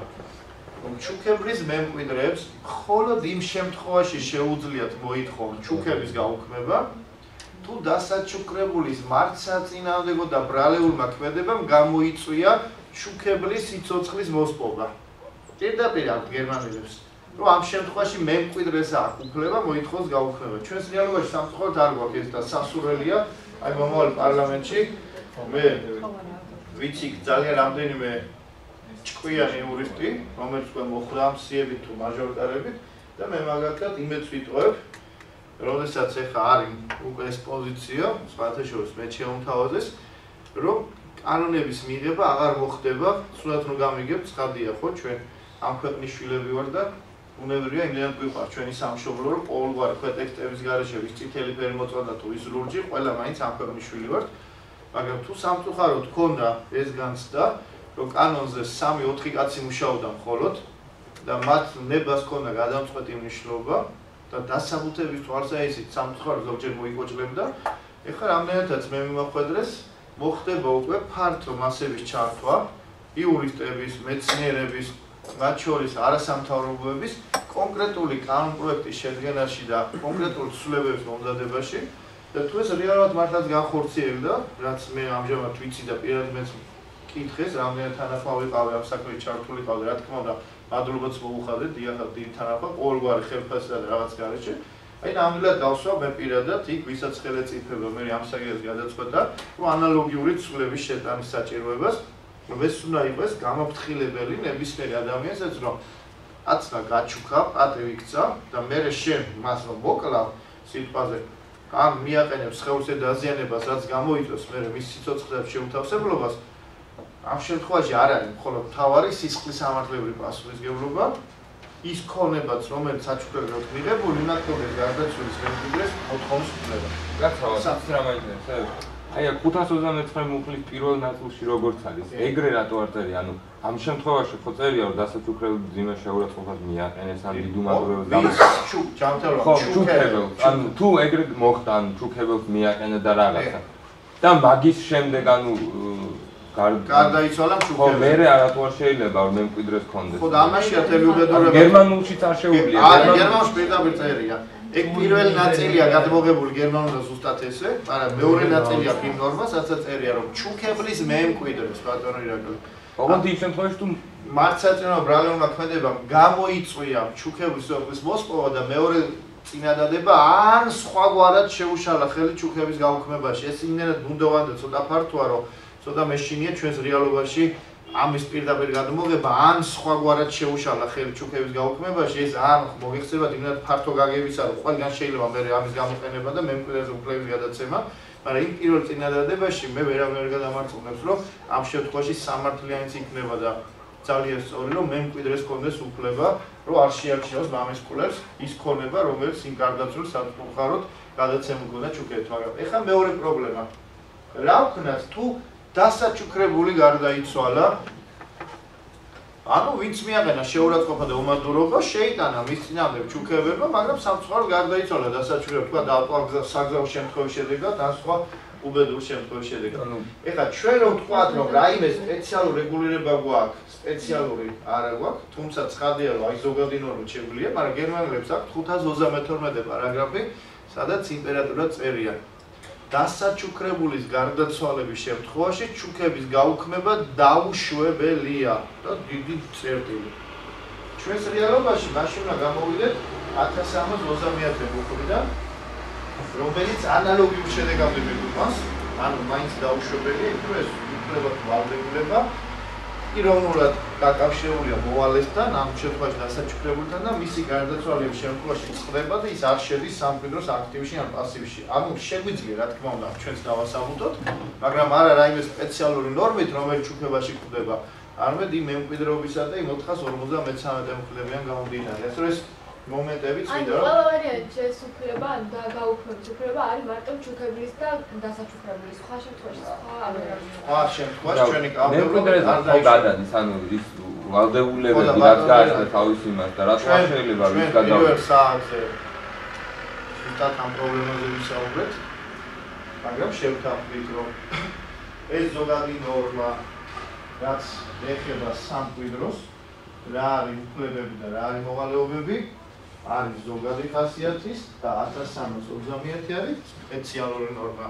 ამდენ როცა თქვენ ქალბატონი ქეთევანი მაგ ნორმას დეტალურად გასწავლით, კიდევ ერთხელ დარწმუნდებით, რომ ის უპირატესობით სარგებლობს ლექს სპეციალის პრინციპიდან გამომდინარე 1330 მუხთან მიმართებით, რაც ეხლა თქვენ ბძანეთ და რა შეიძლება სამყიდოში 1330 გვეუბნება არ გადაეცემა ხო ის უფლებები, მოვალეობები, პირადი ხასიათაა და და მოქმედებს მხოლოდ კრედიტორის ან მოვალის ხო სიცოცხლეში და წდება მათი გარდაცვალებით. აი ამიტომ ამ სპეციალურ საფუძვლად ცხადია რომ განსაკუთრებით ის შედეგი შესაბამისად არგება. რაშიც ვეგეთახოთ რომ სამართლოდან გამომდინარე შეიძლება ასე ყოფილიყო, მაგრამ თქვენიც რომ სპეციალური ნორმა ყოველთვის წინგას ზოგადად ნორმასთან მიმართებით. ეხლა მეგობრებო, ზოგიერთ შემთხვევაში ჩუქების ნამდვილობა შეიძლება დამოკიდებული იყოს გარკვეული მიზნის მიღწევაზე. ანუ იმიტომ გადასცემ თქვენ საჩუქარს, რომ კონკრეტული მიზნის მიღწევა გსურთ, ან რაიმე პირობის დადგომასთან მიმართებით შესაძლებელია იყოს ხო ჩადებული რომ ამ პირობის ან ამ მიზნის მისაღწევად ხდება მის გადაცემა საჩუქრად და ცალკეულ შემთხვევაში გადავახტანთ, ეს მიზანი შეიძლება იყოს საერთო საზოგადო სასარგებლოც კი, რასაც ეგრეთ წოდებული შეწირულობა ქვია. მე დარწმუნებული ვარ, ალბათ თქვენ ცხოვრებაში ერთხელ მაინც გაქვთ ეს ჰუმანური აქტი განხორციელებული, რასაც თქვა თქვენ მოქმედება ქვია. თუნდაც უპატრონო ბავშვთა სახლის მიმართ, თუნდაც ის ფონდია უნანა რო არის, ის ერთ ლარიანი ზარი გაგიშვიათ ხო? უნებ თუნდაც იგივე ეკლესიის მშენებლობისთვის ხო? გარკვეული მოქმედება გაგიხორციელებიათ, ანუ ეს არის ხო ყველ მოქმედება, შეწირულობა, ჩუქების ნაირსახეობა, რომლის მიზანიც არის არა კონკრეტული პირის დასაჩუქრება, არამედ პირთა გარკვეული ჯგუფის ან გაერთიანების და მოტივს და მიზანს, რომელიც ზოგჯერ ანგარებითიც იყოს, არსებით მნიშვნელობა არა. აი რაში გამოიხადება ანგარებითობა, მე გეტყვით. მე მაგალითად მიხვდეთ იმისა, რომ ცდილობ არადოს არ ავღერდე სიმშვიდე შევინარჩუნო, ზოგჯერ ძალიან რთულია. და დიდი ნების ყოფის ხარჯა ვიწევს, რომ პირდაპირ არ გამოხატო იმ მომენტში, რასაც გულწრფელად განიცდი, ხო? ხა ერთ-ერთი სადაზღვო კომპანია არ დავკონკრეტები.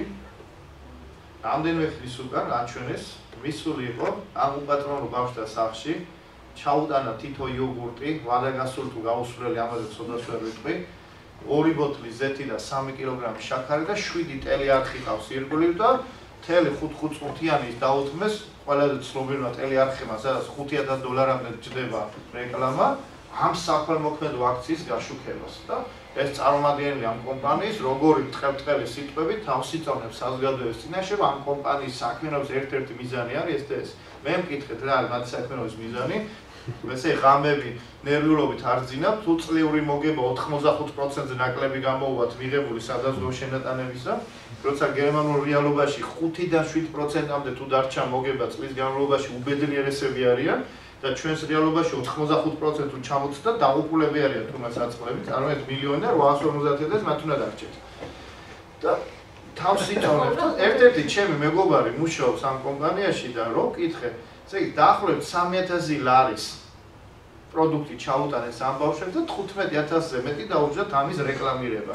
აი ეს არის ხა ზნეობრივი ქმედება რომ ისედაც ბუნებისგან დაჩაგრული ბავშვების ღიმიმს იყენებს შენი კორპორატიული ბიზნესებსაც რომ საზოგადოებამ ნახეთ რა პატიოსნები ვარ ჩვენ და უნდა ჩვენ გვენდოთ ჩვენთან დაეზღვიეთ იმიტომ რომ ამ მიღებული თანხიდან ჩვენ აი ამ გაუბედურებულ ბავშვების კეთილდღეობაზე ზრუნავთ ეს მე მიმაჩნი ამორალ ქმედებათ მაგრამ რას და პირდაპირ გეუნებათ ხო?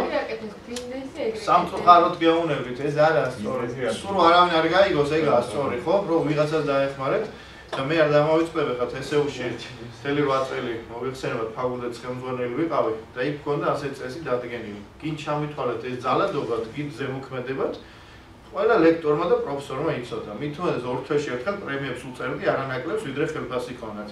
რომ ყოველ ხელფასს აღებაზე თუ არა და ბუღალტერს ვაიძულებდი ჭალებში 5 ანათი ლარი ვის რამდენი შეეძლო? 1200 ლარს ვიღებ ხელფას 5 ლარი აფერ დაგიშავდებოდა იქ ქონდა ჩვენ შესაწერი 5 მე კაცილებს ვეცავდებდი იქ.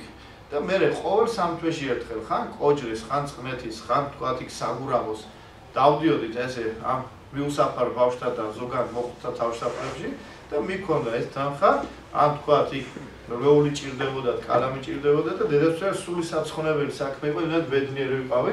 ასევე გავაკეთებინე წმინდა სამების საკათედრო ტაძრის მშენებლობის დროს იქაც. რა თქმა უნდა, ნებაყოფლობით იყო ეს ყველაფერი, მაგრამ ცხადია, რომ შეხსენება გჭირდება ადამიანს, რომ ნებაყოფლობით პროგრამას აღიქვი. არა იძულების წესი, რომ ხელფას არ მოცენა პრემიას უბრალოდ გძნობაზე უნდა იმოქმედო, რომ ეს სული საცხონებელი საქმე და ქვეყნისთვის არის კარგი, რომ ის ბავშვი, რომელიც სამწუხაროდ ბუნებამ დაჩაგრა და შოვლევის მეთვალყურების ქვეშ დარჩა პოტენციური კრიმინალი კი არ უნდა იზრდებოდეს გარიყული კი არ უნდა საზოგადოებას არ ადაპტირება. იმის ჩვენი ქვეყნის შვილია და ხვალ უნდა ქვეყანა აშენოს და ცხადია რომ არანაირად გამართლებული არ იქნება რომ ესე ვთქვათ რაც უნდა ეს მოხდეს ბუნებრივი არ ხო? ამიტომ შევთავაზეთ რომ ეს შეწირულობაც ერთ-ერთ გამოვლენა ჩუქერის მაგრამ აი მიზანთან მიმართებით მინდა ბატონახდა ერთი შემთხვევა მოვიყვანო პრაქტიკიდან დაახლოებით ჭრიჭინას ფილმის პირველი ეპიზოდთან არის კავშირში მოკლედ ერთ-ერთმა ქალბატონმა რომელიც ნაცნობობის ფართო წრით გამოირჩევა, მოახერხა ისე რომ დაარწმუნა კომპეტენტური პირები, რომ მისი დიშვილი არის ამომავალი ვარსკვლავი და რომ ის აუცილებლად დასაქმდეს ამ კონკრეტულ საწესებულებაში, რომ მისი უნარი და შრომით, ბეჯიტი და ასე შემდეგ წარადგება ამ კომპანიას. მოკლედ მიიღო ამ დეიდამისის მეგობარმა სამსახურში ამ ქალბატონის დიშვილი და ამ გოგონას ჭირს ჭრიჭინას დაავადება, დილით ეძინება. 9 საათზე რომ სამუშაო იწყება 11-12 საათზე მიბრძანდებათ. ახლა ბუნებრივია რომ ახლა ეს ხელმძღვანელობა და იდამისის ხათრი ბოლომდე ვერ ეუნება მაგრამ სხვა თანამშრომლები რომლებიც 5-5 დაგვენებ შემთხვევაში ჯარიმდებიან სხვადასხვა ფინანსური სანქციები ამორალურია ხო? რომ ვიღაცას თავზე ხელს უსვავ იმას როცა უნდა მოვა და სხვები მე წორაობის ალბათ ქმნიან და ძალიან დილობიანად უთხრა კომპანიის ხელმძღვანელობა დეიდამის რომ ჩვენ თვალსე გააგრძელო რა მოგვიწევს ხელშეკრულების შეწყვეტა. და დეიდამისმა სპეციალურად იმიზნით რომ მის დიშურს აღარ დაეგვიანებინა სამსახურში საჩუქრად გადაცა მას ძვირადღირებული ოქროს მეტალით დამზადებული საათი მაღვიძარა საათი რომ დილით გაეღვიძა გოგონას თუმცა ვერც ამან ვერ უშველა და გამოაბუნძულეს სამსახურიდან ეხა დეიდამისმა ხელი აიღო დიშვილის მეურვეობაზე ბჭყალებში და ითხოვ საათი დამიბრუნე უკანო. იო ღირსი არ ხარო შენო ბატონო მე მაგიტომ გაჩუქე და კარგად იცოდიო რომ არ დაგვერებოდა სამსახურშიო ეხა თქვენ როგორ ფიქრობთ?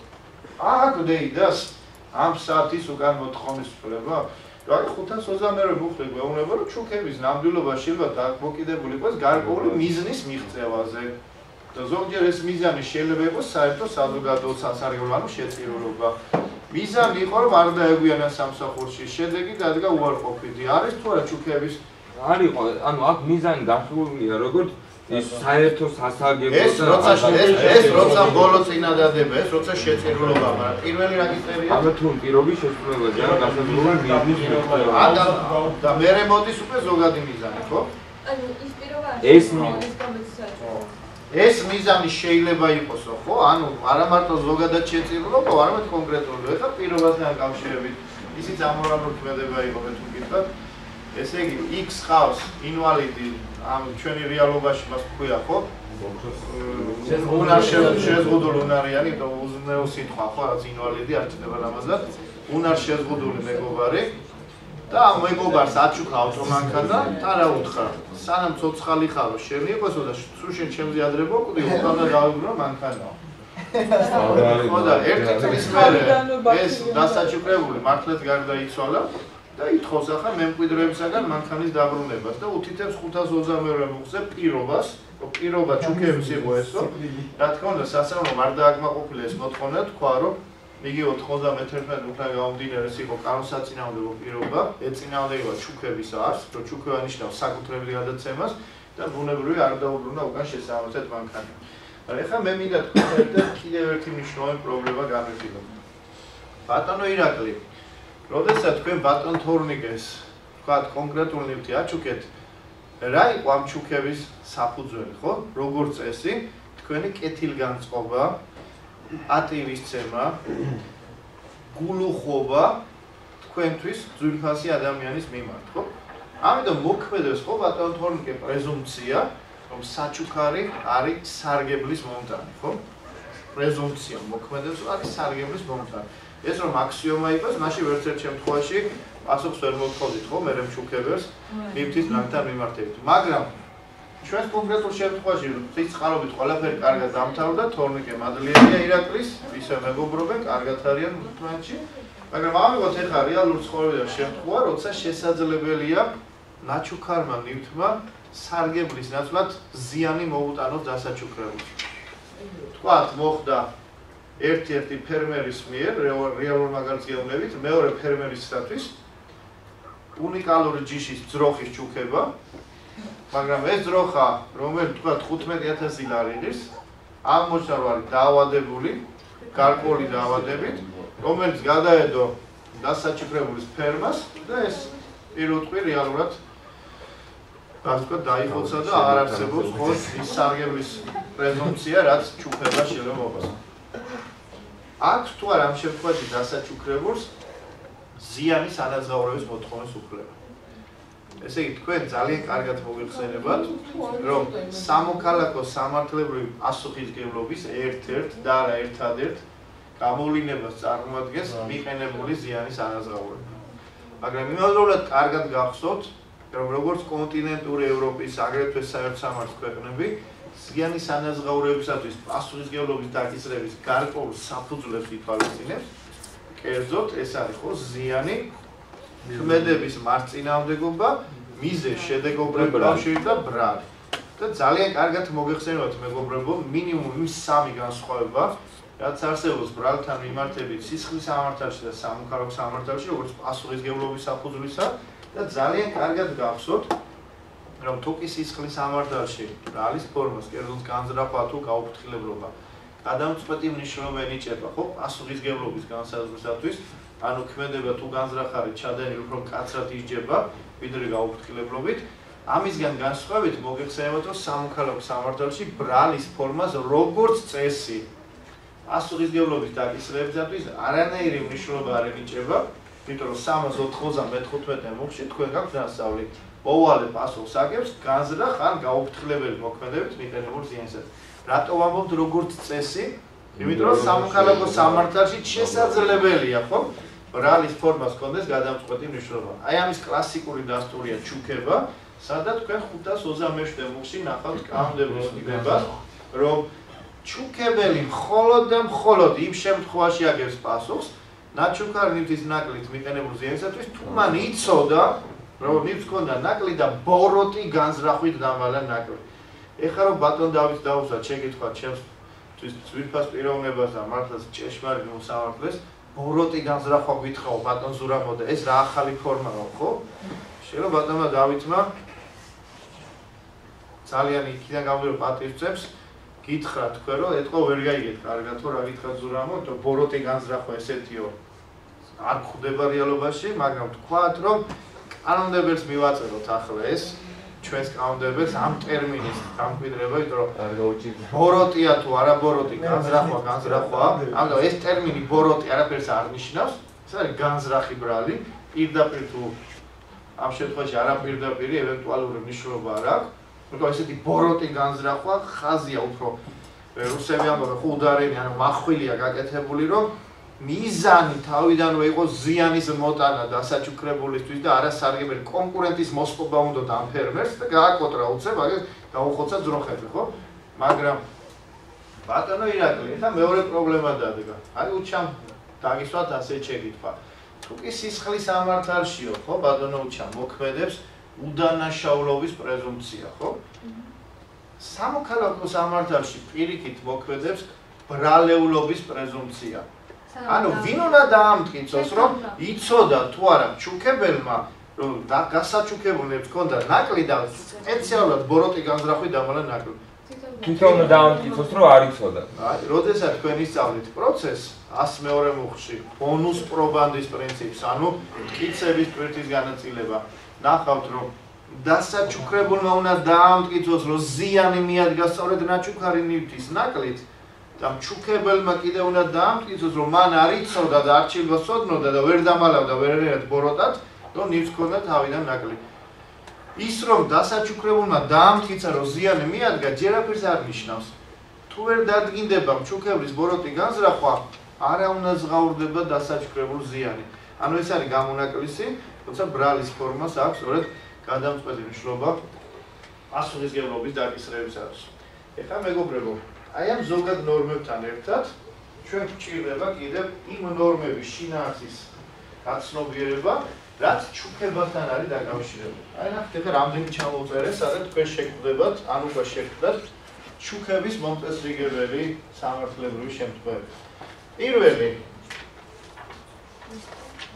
თქვენ იცით რომ სამკალოდო სამართალში რა დიდი მნიშვნელობა ენიჭება პრეზუმციებს.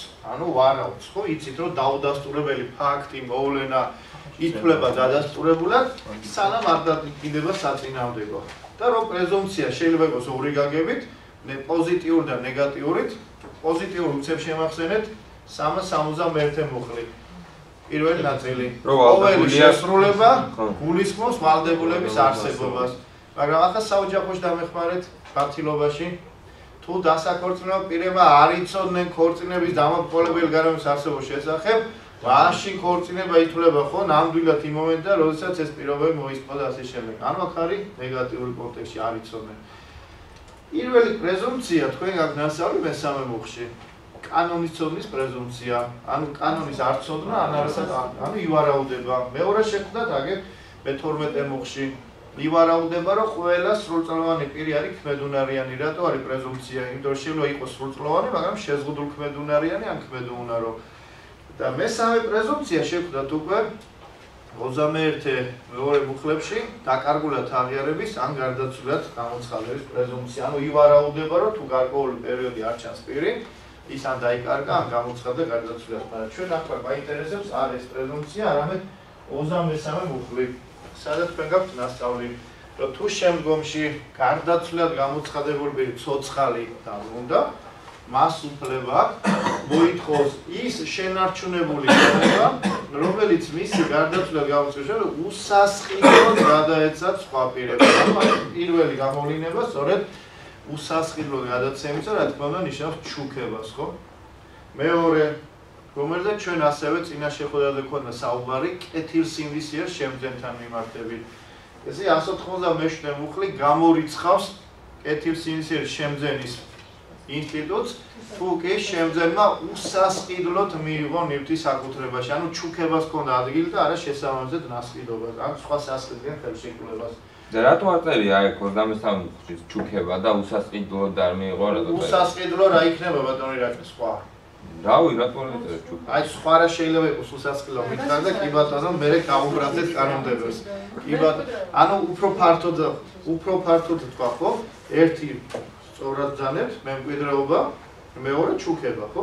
ამიტომ თუ ჩვენ აქ დავაკონკრეტებდით და მხოლოდ ჩუქებას ჩავწერდით, მაშინ ისე გამოდის, რომ იგივე მემკვიდრეობის შემთხვევაში ვეღარ მოითხოვდა, ხო? თავარი ეს ქონება შენარჩუნებული იყოს, იმყოფებოდეს, ხო? იმ პირთან, ვინაც უსასყიდლოდ მიიღო, ყველა სხვა შემთხვევაში გახსოვთ 23 მუხლის შინაარს, ხო? მესამე ვალის პატიება თქვით, რომ შეიძლება იყოს ჩუქების ერთ-ერთი ნაირი სახეობა, იმიტომ რომ ხდება დასაჩქრებულის ქონების ამ შემთხვევაში მოვალის ქონების გაზრდა კრედიტორის ქონების შემცირების ხარჯზე. აგე მეოთხეს 980 მუხში ისწავლეთ უსაფუძვლო გამდრებაში, რომ ვითომ კრედიტორმა, რომელსაც არ ქონა სამართლებრივი საფუძველი მიიღო ქონება, თუ ეს ქონება მესამე პირს უსასყიდლოდ გადასცა, ის მესამე პირი ისევე ვალდებულია უკან დააბრუნოს ქონება, როგორც ვითომ კრედიტორი დააბრუნებდა. აქაც უსასყიდლოდ გადაცემა ჩუქების გამხატულებას წარმოადგენს. ეხლა მივედი ძალიან საინტერესო საკითხზე, ნიშნობა. 1000-ას მეცხრე მუხლი მესამე ნატრილი და მოდი ეხლა თქვენთან ერთად განვიხილოთ რეალურ ცხოვრებაში მომხდარი შემთხვევა. ყოველგვარი შელამაზების და ფანტაზიის გარეშე. ესე იგი, ჩვენ ვამბობთ, რომ ნიშნობის ინსტიტუტი ჯერ კიდე რუის ურმისის საეკლესიო კრების რეგისტრში ხდება. თუ არა კიდე სხვა სამართლის ძეგლებში. დაწინ უნდა დავარქვათ კი ბატონო განსაკუთრებით სადედამთილო ბელგას რომ ერთმევდა ხოლმე ანუ ხო ეს ბეჭედი იქნება თუ თავშალი კიდე თეკის იქნებოდა ეს თუ რაღაც ნამდვილი და შეკერილი ნიშნობა რა ну და იცით რომ ჩვენი გაგებით ქვია დასაკორწინებელ პირთა წინასწარი თანხმობა რაც არ შეიძლება გახდეს არც ერთ შემთხვევაში დაკორწინების იძულებით მოთხოვნის აღარ წარმოშოს ვალდებოდა და ვერც იძულებით მაგრამ საინტერესოა სამართლებრივი შედეგი ხო ნიშნობას დაუქორწინებლობასთან მიმართებით რა შედეგი მოყვება. ზე არსებობს თელეგი ქვეყნები, რომელიც ითვალისწინებს, რომ ამ დროს ანაზღაურდება ყველა მატერიალური ზიანი, საკორდინო სამზადისი, დასაცმელი და ასევე მორალური ზიანი საუნაზღაურდება იმ პირს.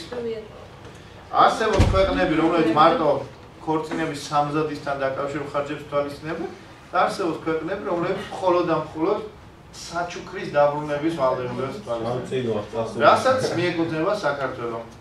და 1919 მუხლის მესამე ნაწილში თქვენ რა გასწავლი დაუქორწინებლობის შემთხვევაში ნიშნობასთან დაკავშირებულ საჩუქრებს ხარებს უკან დაუბრუნდებათ. ეს ხო გა აქ ისმენ და მე გავავრცოთ. ეს გავს იმას, რომ თქვა პირობად ანუ პირობით არის რა თუ დაქორწინებიან ის საჩუქრები დარჩება. ეს არის სპეციალური ნორმა, ხო? თქვა იმ 500 არ თუ არ მოითხოვა ხო არ რა დააგვი თქმა უნდა ბატონო ირაკლი, არავინ არ აიძულებს, მაგრამ აქ საინტერესოა ჯერტი მხარები ვინ არიან? აუცილებლად გოგო და ბიჭი ვინც უნდა დაუჯახდეს თუ სას ყოფილი სასიდედრო და მომავალი სასიდო და ყოფილი სადამთილო და მომავალი რძალი. რა თქმა უნდა მხარები არიან ფართო გაგებით. შესაძლებელია გოგონას მამიდან მომავალ სასიდოს ხელზე ჩამოგიდოს 1 კილოგრამიანი ოქროს ჯაჭვი. და ამ შემთხვევაში სუბიექტი იქნება გოგონას მამიდან და ყოფილი სასიდო, დასაჩუქრებული და არა ყოფილი საცოლე და ყოფილი სამყარო. მაგრამ ეხლა საინტერესო საკითხი. თუ გას წეღარ უნდა ისვა შეკითხვა, ეს ერთი გასხსების პრობლემა და მეორე ხანდაზმულობის ვადა, ხო ბატონ დავით? ამ შემთხვევაში მოქმედებს ერთწლიანი ხანდაზმულობა თუ ზოგადი, რა თქმა უნდა ზოგადი საერთო ხანდაზმულობის ვადა და არც ერთ შემთხვევაში არ გამოიყენება 529 და მეორე ბატონებმა ძალიან საინტერესო კაზუსი. თქვათ, ავიღოთ შემთხვევა პირობითად ისეთ სახელმინა თქვა რო არ ამნებას ნოშრევანი და ჟუჟუნა. ნოშევანი მოდი შეხტი ბატონ სანდრო მაგრამ რა ვიცი ხა უწყიში ჯერ სანდრო წერი ხარ და მოხერები თუ გეძახიან მე შევაწყოს კი არ ვაგანი ნოშრევანი წმინვალი სახელი მაგრამ არ მინდოდა რომ ვინმეს გული გაგწყვეტოდა თან ესე იგი ბატონი ნოშრევანი ნოშევანი კაცი სახელი. დიახ საკალბატონი თალი თუ ჟუჟუნა. დაინიშნე ნიშნობა მოხდა შესაბამის პროცედურების დაცვით. ორი თვის მერე აქვს ქორწილი. ეს ნამდვილი ხო, რა ამბავია თქმა უნდა, 20 სახელებს შევცვალე. რეალური ფაქტია ბატონო ჟაკლი. ორი თვის მერე აქვს ქორწილი. მთელი სანსაო საქმის კურსია უკვე კაბების შეკერვა, წინასწარ ფეხსაცმლის შეკვეთები უკვე მზადდება და ზუსტად მერვე დღეს ნიშნობიდან ამ ჟუჟუნას აქვს დაბადების დღე. იხდის ძალიან ფართო წრეში და მიდის ნოშრევანი და ამ დაახლოებით 50 სუფრის წევის თანდასწრებით ყელზე ჩამოგიდა 7000 ლარა ღირებული ბრილიანტის კულონი, რომელიც დამზადებულია ზარაფხანას მიერ. ქორწილამდე ორი კვირით ადრე ნოშრევასა და თალიკოს შორის ჩაიშალა ეს პროცედურა. აღმოჩნდა რომ თურმე არ ყარებიათ ერთმანეთი ისე როგორც უნდა ყარებოდათ. და ნოშრევანი ითხოვს ეხლა ამ ბრილიანტის კულონის დაბრუნებას რა და თალიკო უთხრა შენც კარგად და მეც კარგად თუ მაგას არ დაგიბრუნა. და იგი ხო შენი საჩუქარი. პორტილიო შენ ჩაშალეო, ჩემი ფრია რა უმადურობა სადგილი არ ქონიო და რას მე დავებიო. წავიდა ნოშრევანი სასამართლოში და უთიდებს 1000-ას მეცხრე მუხლის მესამე ნაწილს და ამბობს თალიკო თუ ჟუჟუნა რომ ჩემი დანიშნული არ ყოფილიყო და საცოლეო ერთი ჭკად ყოფილი ადამიანი მაჩვენეთ რომელიც 7000 ლარიან იმ საჩუქრად გადასცემდაო სასამართლომ როგორ ფიქრობ დააკმაყოფილა თუ არა მოთხოვნა? ჩემეთაც კი რა აა აბა უმცირესობა ამბობს არა ხო? მოითხოვა იმ ბრილიანტის უკან დაბაშვა ესე იგი რა ნიშნულობა ვისე ზარი ესე იგი თქვენ თქვენ ერთ ერთ სიტყვა დაგავიწყოთ რასაც უნდა გაკეთოთ ეს საჩუქარი მიართო არა ნიშნობაზე არამე დაბადების დღეზე თუმცა მოტივი იყო რომ ისო არის ჩემი საცოლე და ამიტომ აჩუქეო რა თქმა უნდა 1000-ას მეცხრე მუხლით ნოშროვანმა წააგო დავა. და ეს არ იყო ნიშნობასთან დაკავშირებული საჩუქარი ეს იყო აჩუქარო ისმინდო სი გამოხატა დიდი სიყვარული მომავალი ცოლის მიმართ ხო მაგრამ შესაბამისად აა ნიშნო ნიშნობა რა არის საერთოდ არის გაჩედა ვაფონ გაჩედა როდესაც ეს მომენტი დადგება თქვენ ცხოვრებაში ეხლა ლევანიკო როცა დადგება ეს მომენტი თქვენ ცხოვრებაში და მომავალ სიმამთან და სიდეთრთან მიფხარ სახში და როკითავი მომავალი მომავალი მეუღლის ხელს თხოვთ რომ თხოვთ გამომაყოლოთ ხო? აი მე მივხვდები ნიშნობა რა არის და ფეხები უკან რო დაგჭერ რომ სამჯეროდ ჩამოხვალ სადარბაზოში. მე დაახლოებით ესე დავამართა იმიტომ რომ იმდენად მივხვდეთ ისე 30 წლის ვიყავი და ასე პადრასაკში რომ რაღაც მაინც მქონდა გართულება მივხვდეთ რომ ყველა მიცოდა რომ ეს საკითხი ესე იყო გადაწყვეტილი მე მაინც გამიჭირდა მისვლა ბატონ დავითთან და მე თქვა რომ მე და თქვენ ქალიშვილს ძალიან გვიყვარს ერთმანეთი და გთხოვთ უარს ნუგვეტყვით რომ შეუგულდეთ და ფიცა ვარ და პატიოსნებას ვარ მეყარება სიკვდილამდე და ასე შემდეგ. და რა გინდა ხა ეს თქვა ხო? ანუ ერთი ორი ჭიქა მაინც უნდა მიიღო წინასწარ რომ ხასიათზე მოხდე, მაგრამ არც ბევრი არ თქვა სიმამრა რომ ლოთი ყოფილესო და შვილს როგორ გავატანო ხო? და მე მე მიხვდებით რომ ამ საერთოდ რომ უაგვარებ და საჩუქარი მაჩქო მაგას ამას რომ უაგვარებ ამას მე მე თქვენი შობლები რომ მოვლენ უკვე მომავალი წლის გასაცნობა და დედიკო რო ჩამოკიდებს იმას საყელოზე ძვირფას მოსახურავს თუ ხელზე რაღაც ბეჭდებს გაუკეთებ და კიდევ ჯაჭვებს ოქროსი აი ეს არ ნიშნობა ხო და შესაბამისად დარწმუნებული ის ყველაფერი ბედნიერად დამთავრდება მე რატომ შევთავაზო მიხვდები რა და და ეხა მე მინდა სანამ დანარჩენ გამოვცოთ ერთი ასეთი შემთხვევა გავიხსენო ჩემ პედაგოგურ გამოცდილებიდან და გასაგებად გოგონებთან მაქვს ამ შემთხვევაში მორალი ამ კითხვის რომ ცხადია თავიდანვე შევთანხმდეთ რომ ერთ ერთი мама ვერაზოს ვერ ეგუება იმას რომ შვილი უნდა გათხოვდეს. და ოჯახიდან უნდა წავიდეს. ამას ჩათვალეთ რომ ვერაზოს ვერ შეეგუება თუმცა ესაც არ ნიშნავს იმას რომ შინაბერად დატოვა შვილი სახში და ჯაჭვით გამოაბარო არ გაგათხოვებ ხო?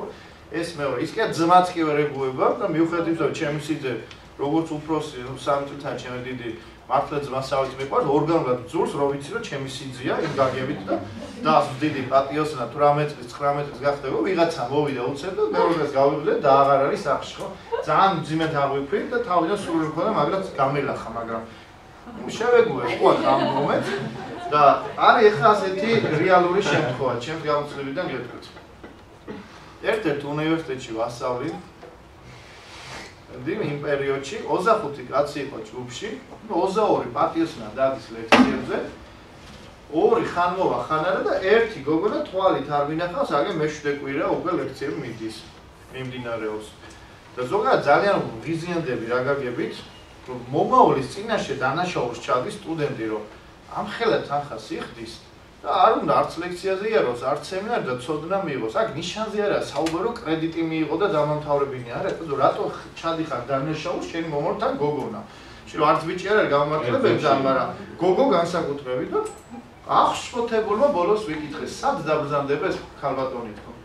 პრობლემა აქვს პატივცემულო და ის რა პრობლემა გათხოვდაო. გათხოვება პრობლემა კი არა ძალიან კარგია მეტყვი. არა თქვენ არიცითო ის მედის ერთაო. მამამის ვარ მოწონდო ის ბიჭიო. გაიპარაო ეს გოგო სახლიდან და მამა ეხა მიკროინფარქტი თუ რეალური ფაქტია სამპროფოში წევსო და ძალიან ძიმე მდგომარეობა ოჯახშიო. ეხა მე თვითონ გოგონას მამა ვარ და რო წარმოვიდგინე უკვე სამმავლად ისედაც ხო უკვე ამ გოგოს მიმართ ჩემ ნეგატიურ დამოკიდებულება მაქვს რომ შვილი კვირა არ დადის და ამაზე უფრო გავბრაზდი გულში ფიქრო რომ მობრძანდება ერთ ლექციაზე ოდესმე თქო ნახავს მაგითქო და მართლაც მოვიდა უცხოს სტუმარი მყავს გოგონა კინაკავეულის კომბინატიდან არის გამოქცეული და ჩამოკიდებულია რაღაც უფრო ჯაჭვები და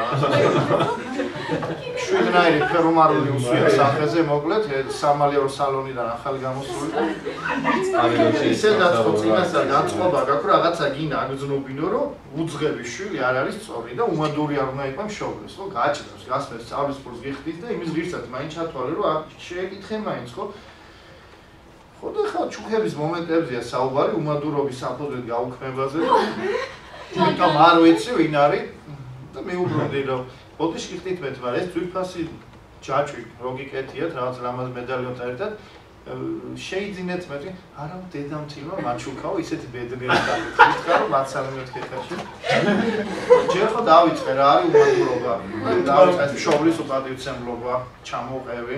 რაც შობელს უფლებას ანიჭებს რომ აქამდე რაც უჩუქნია და ფული დაუხარჯია ყველაფერი უკან მოსთხოვოს სწავლის საფასური პროცენტთან ერთად და აქ აქვს ცნებლები პირველად უნახავ ცხოვრებაში როგორ შეიძლება იფიქროს რომ ეს კაცი ახლა ბოროტად ხუმრობს ხო? და მე კიდე სერიოზულად ვსაუბრობ არ მეღიმება და ახლა მეუბნები.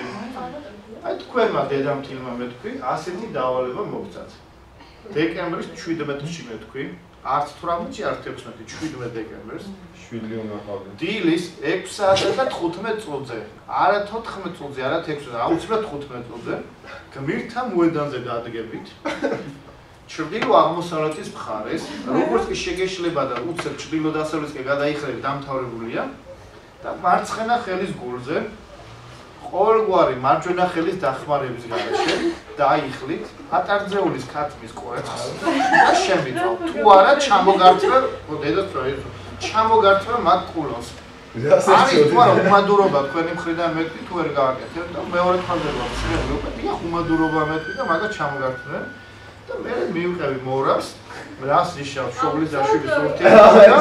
სასამართლო შეაგიჩი ბოლოს რომ მივიდა იმ კონდიციამდე როგორ უნდა ეტირა მე ვუთხარი რომ ეს რა თქმა უნდა მე ვიხუმრე ყველაფერი მაგრამ გაითვალისწინეთ მესვი რომ შობლის მიმართ ეს დამოკიდებულება კლასიკური გაგებით შეიძლება სამადიდალ უმადურობა არ იყოს მაგრამ წმინდა ადამიანური მომენტებით აი თქვენ რომ შვილი გეყოლებოდა მერთობედია გაყოფოთ მეტი თქვენი შვილი თუ ისევე მოიქცევა როგორ თქვენ მოეკეცით შობლებს ხო რამდენად გესიამოვნებთ ხა შეიძლება ჩემ გადასაწყვეტი არ იყოს მეტი მაგრამ მამის ჯანმრთელობა და სიცოცხლე არის იმაზე მაღალი გრძნობა რომ ეს პრობლემა შეიქმნას ხო ну ცხადი არც ისე უნდა ჩავთვალო თუ ის мама მაინდა-მაინც მართალი იყო იქ გოგოსგან მაგრამ აი мама მართალი იყო იმ გაგებთ რომ 18 წლის ორდრის შესრულებული იყო ეს გოგო გათხოვებამდე თელი რიგი ხო ასე თქვა სხვა საკითხებია მოსაგვარებელი და უცებ ყოველგვარი ასე თქვა რაღაცა კონსენსუსის გარეშე შეიძლება ასე რომ უმადურობა და ამ ჩუქების გაუქმება ცხადია სხვა მომენტებია, მაგრამ ამ შემთხვევაში ბუნებრივია მშობელს არ აქვს უფლება იმ გაღებული ხარჯების ანაზღაურება მოსთხოვ შვილს, რაც ამ 18 წლამდე ასაკისათვის იქნა გაღებული, ეს არის კანონიდან გამომდინარე ვალდებულება. ასე რომ გოგონებს მინდა ეს რჩევა ჩემი მქონდეთ, გაითვალისწინეთ, რომ მამას განსაკუთრებით ნუღაც პერინებთ, შეიძლება არ დაგეთანხმოთ თქვენს არჩევანში, მაგრამ პატივი ეცი და შეაპარეთ მაინც, რომ ხვალ შეიძლება სახში არ მოვიდე, იმიტომ რომ მეორე ოჯახში მივდივარ და არა ისე რომ უცებ იგებდეს мама რომ შვილი გათხოვილა და შესაბამისად ეს და ამ შემთხვევაში თქვენ გაქვთ ამირანის ხზულება ნასწავლი, სადაც ამირანმა რომ მოიტაცეს ყამარი რა თქმა უნდა სასიმავნოს არ მოწონდა ამირანი და თელი ჯარით გამოედევნა. ხო საზღვარზე ვერ გაასწრო ამირანმა და ხელ ჩართული ბრძოლა სიმამსა და სიძეს შორის და ცოლი აკეზებს ქმარს რომ შენ ვინ ახარ კაცო მაგლა კინოს წევს პილოსო დაბლა შემოწერ პილოსო და ბოძნი რო წაიქცევიან დარბაზნი დაეცემიან. რომ ფეთები მოყვეთეო მამა ჩემსო და გადავრჩებითო და აკაცმა რომ ქმარი და აგდო და ასე დაუხარა თან სიძეს რომ მომაჭერიო თავი ამისანა შვილის გაზდასო სიცოცხლე რა თმინდა ხო უყურე ქალს ავასაო ქმარი ირჩია მამასაო ქმარი ხესასხა ფოთლება და მამა ვიმისე საწყალსაო ხო? აი ეს მნიშვნელოვანი საკითხია ამიტომ უმადურობა შეიძლება კლასიკურ გაგებით არ არის მაგრამ ზნეობრივ თავზე და აი მივერით ეხა იმ მეორე საკითხზე ბატონ დავით. რასაც მეუღლეთა შორის ურთიერთობა ქვია და თქვენ ალბათ უკვე კარგად ისწავლეთ საოჯახო სამართალში რომ დაქორწინება წარმოშობს მეუღლეთა ურთიერთსანაცვლო როგორც ქონებრივ ისაც ეროვნებებს ძალიან კარგად გახსოვთ რომ ქონებრივ უფლებებს შორის თქვენ იცით ინდივიდუალურ საკუთრების რეჟიმი იცით თანაზიარ საკუთრების რეჟიმი. თუნდაც 1061 მოხსი აქვს ხო ნასწავლი რა ითვლება თანაზიარ ანუ თანასაკუთრებად? ერთად ცხოვრების პერიოდში შეძენილი ქონება ეს ეს გარდა ჩუქებით ან მემკვიდრეობით მიღებული ქონების. აი კაც ხაზია გასული, ჩუქებით მიღებული ქონება არის ინდივიდუალური ქონება, გარდა რა შემთხვევისა, თუ საქორწინო კონტრაქტით სხვა რამექნება დადგენილი. ყველაზე საინტერესოა თანასაკუთრების განკარგვა. მიხვდით თუ გამსაგებზე?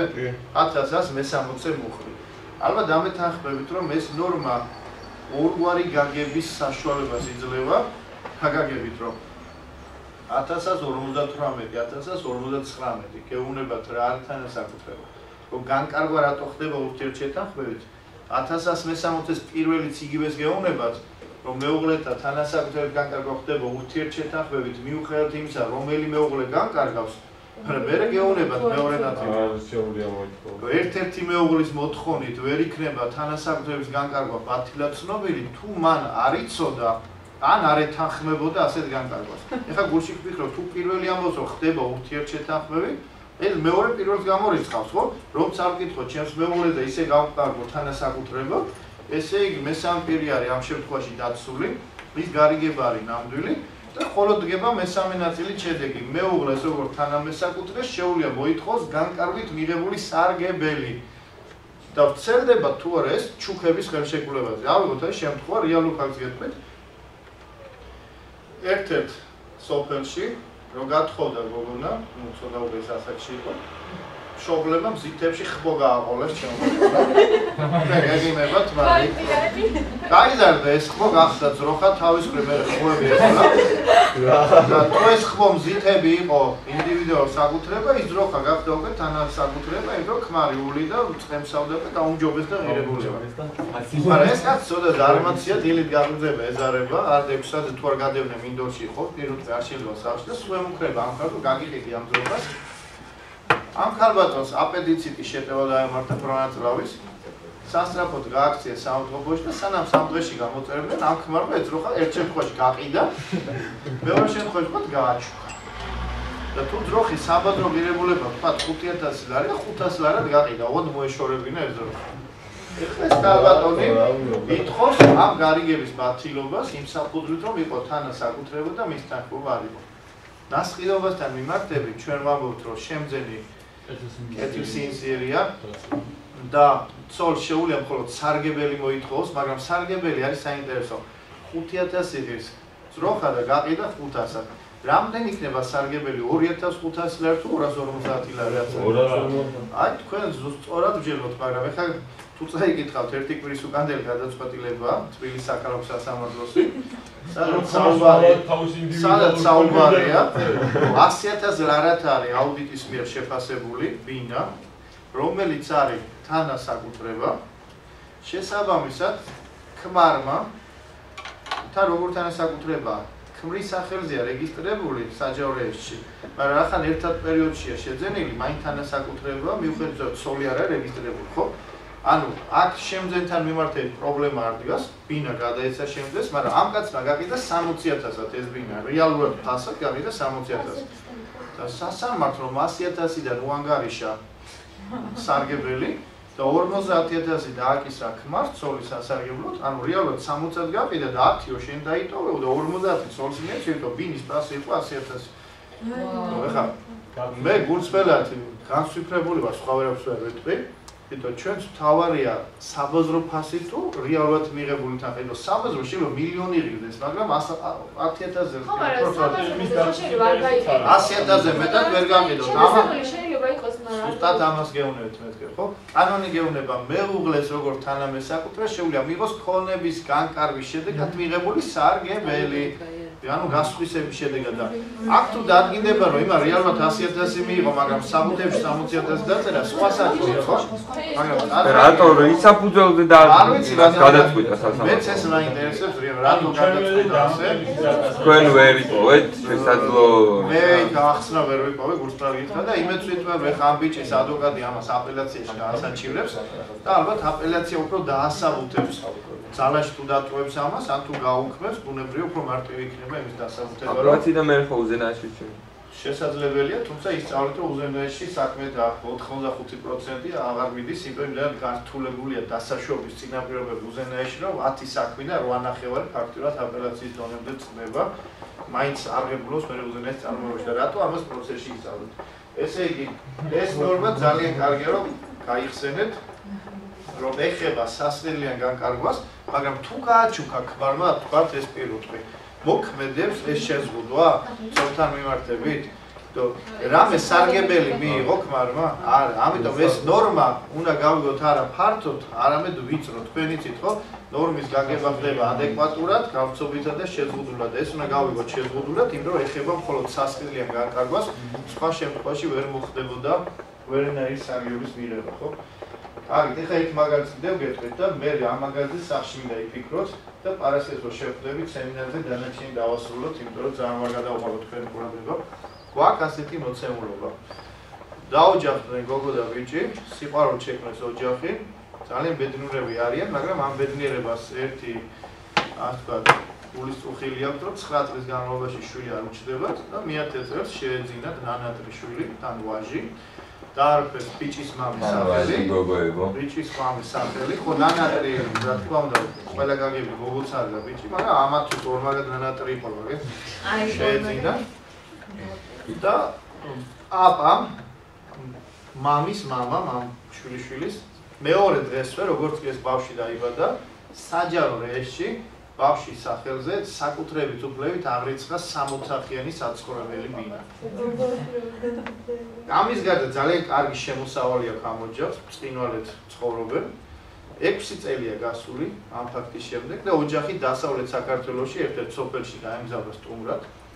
და როცა მშობლები გახდებით, აი კიდევ ერთხელ დარწმუნდებით ჩემს ნათქვამში, რომ შვილი შეიძლება 23 საათი და 59 წუთი დღის განმავლობაში განმავლობაში ფეხზე მოიბად ჯაჭვი და არსად გაუშვათ და ერთი წუთი მხოლოდ თქვა იმ ადგილას წავიდეს სადაც მეფენი თავის ფეხი დადიან და რაღაცა რო არ დაიშალოს ზოგადად არ შეიძლება და ზუსტად ესე მოხდა ორი წუთი ხედველობიდან გამორჩათ ბავშვი და ეს ბავშვი აუთქლა გაუთქლა რა გაგებით? გაყვა თანატოლებს რომლებიც დინარეზე წავიდნენ საჭყუგულაოდ ახლა სოფელში ვინც იძება თან დინარეთთან ახლოს ცურა გაცილებით კარგად იცის ამ ბავშვმა არ იცის მაგრამ ჩაყვა ამ ბავშვებს და იხჩობა სამწუხაროდ და როგორ ჩანს ღმერთს იმედად ყარები ეს ოჯახი რომ მიწიერი ანგელოზი მოულინა შემთხვევითი გამვლელის სახით რომელსაც ეს ფაქტი დაინახა და სრულიად შემთხვევითი გამვლელმა გადაარჩინა ეს ბავშვი დახჭობს და წარმოიდგინეთ ამ შობლების სიხარული მათთვის ჯერ წინა პირობები 10 წელი შვილი არ ყავდათ რა შვილზე ძვირფასი არაფერი და ამაც მით უმეტეს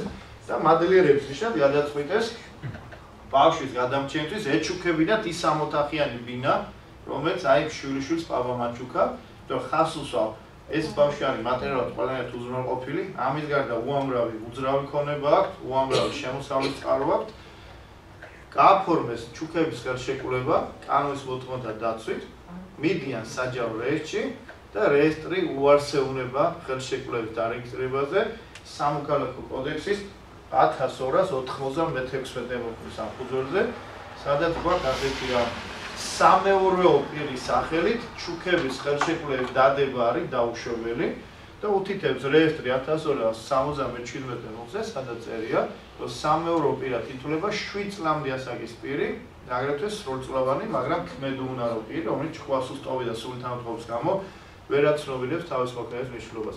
აი შემდეგში პარასკევს რო შევხვდებით, შეიძლება ჯერ ეს ნორმა არ გაქვთ საოჯახოში დავლილი, მაგრამ აი თქვენ როგორი ალღო გექნებათ, როგორ გიკარნახებთ გული?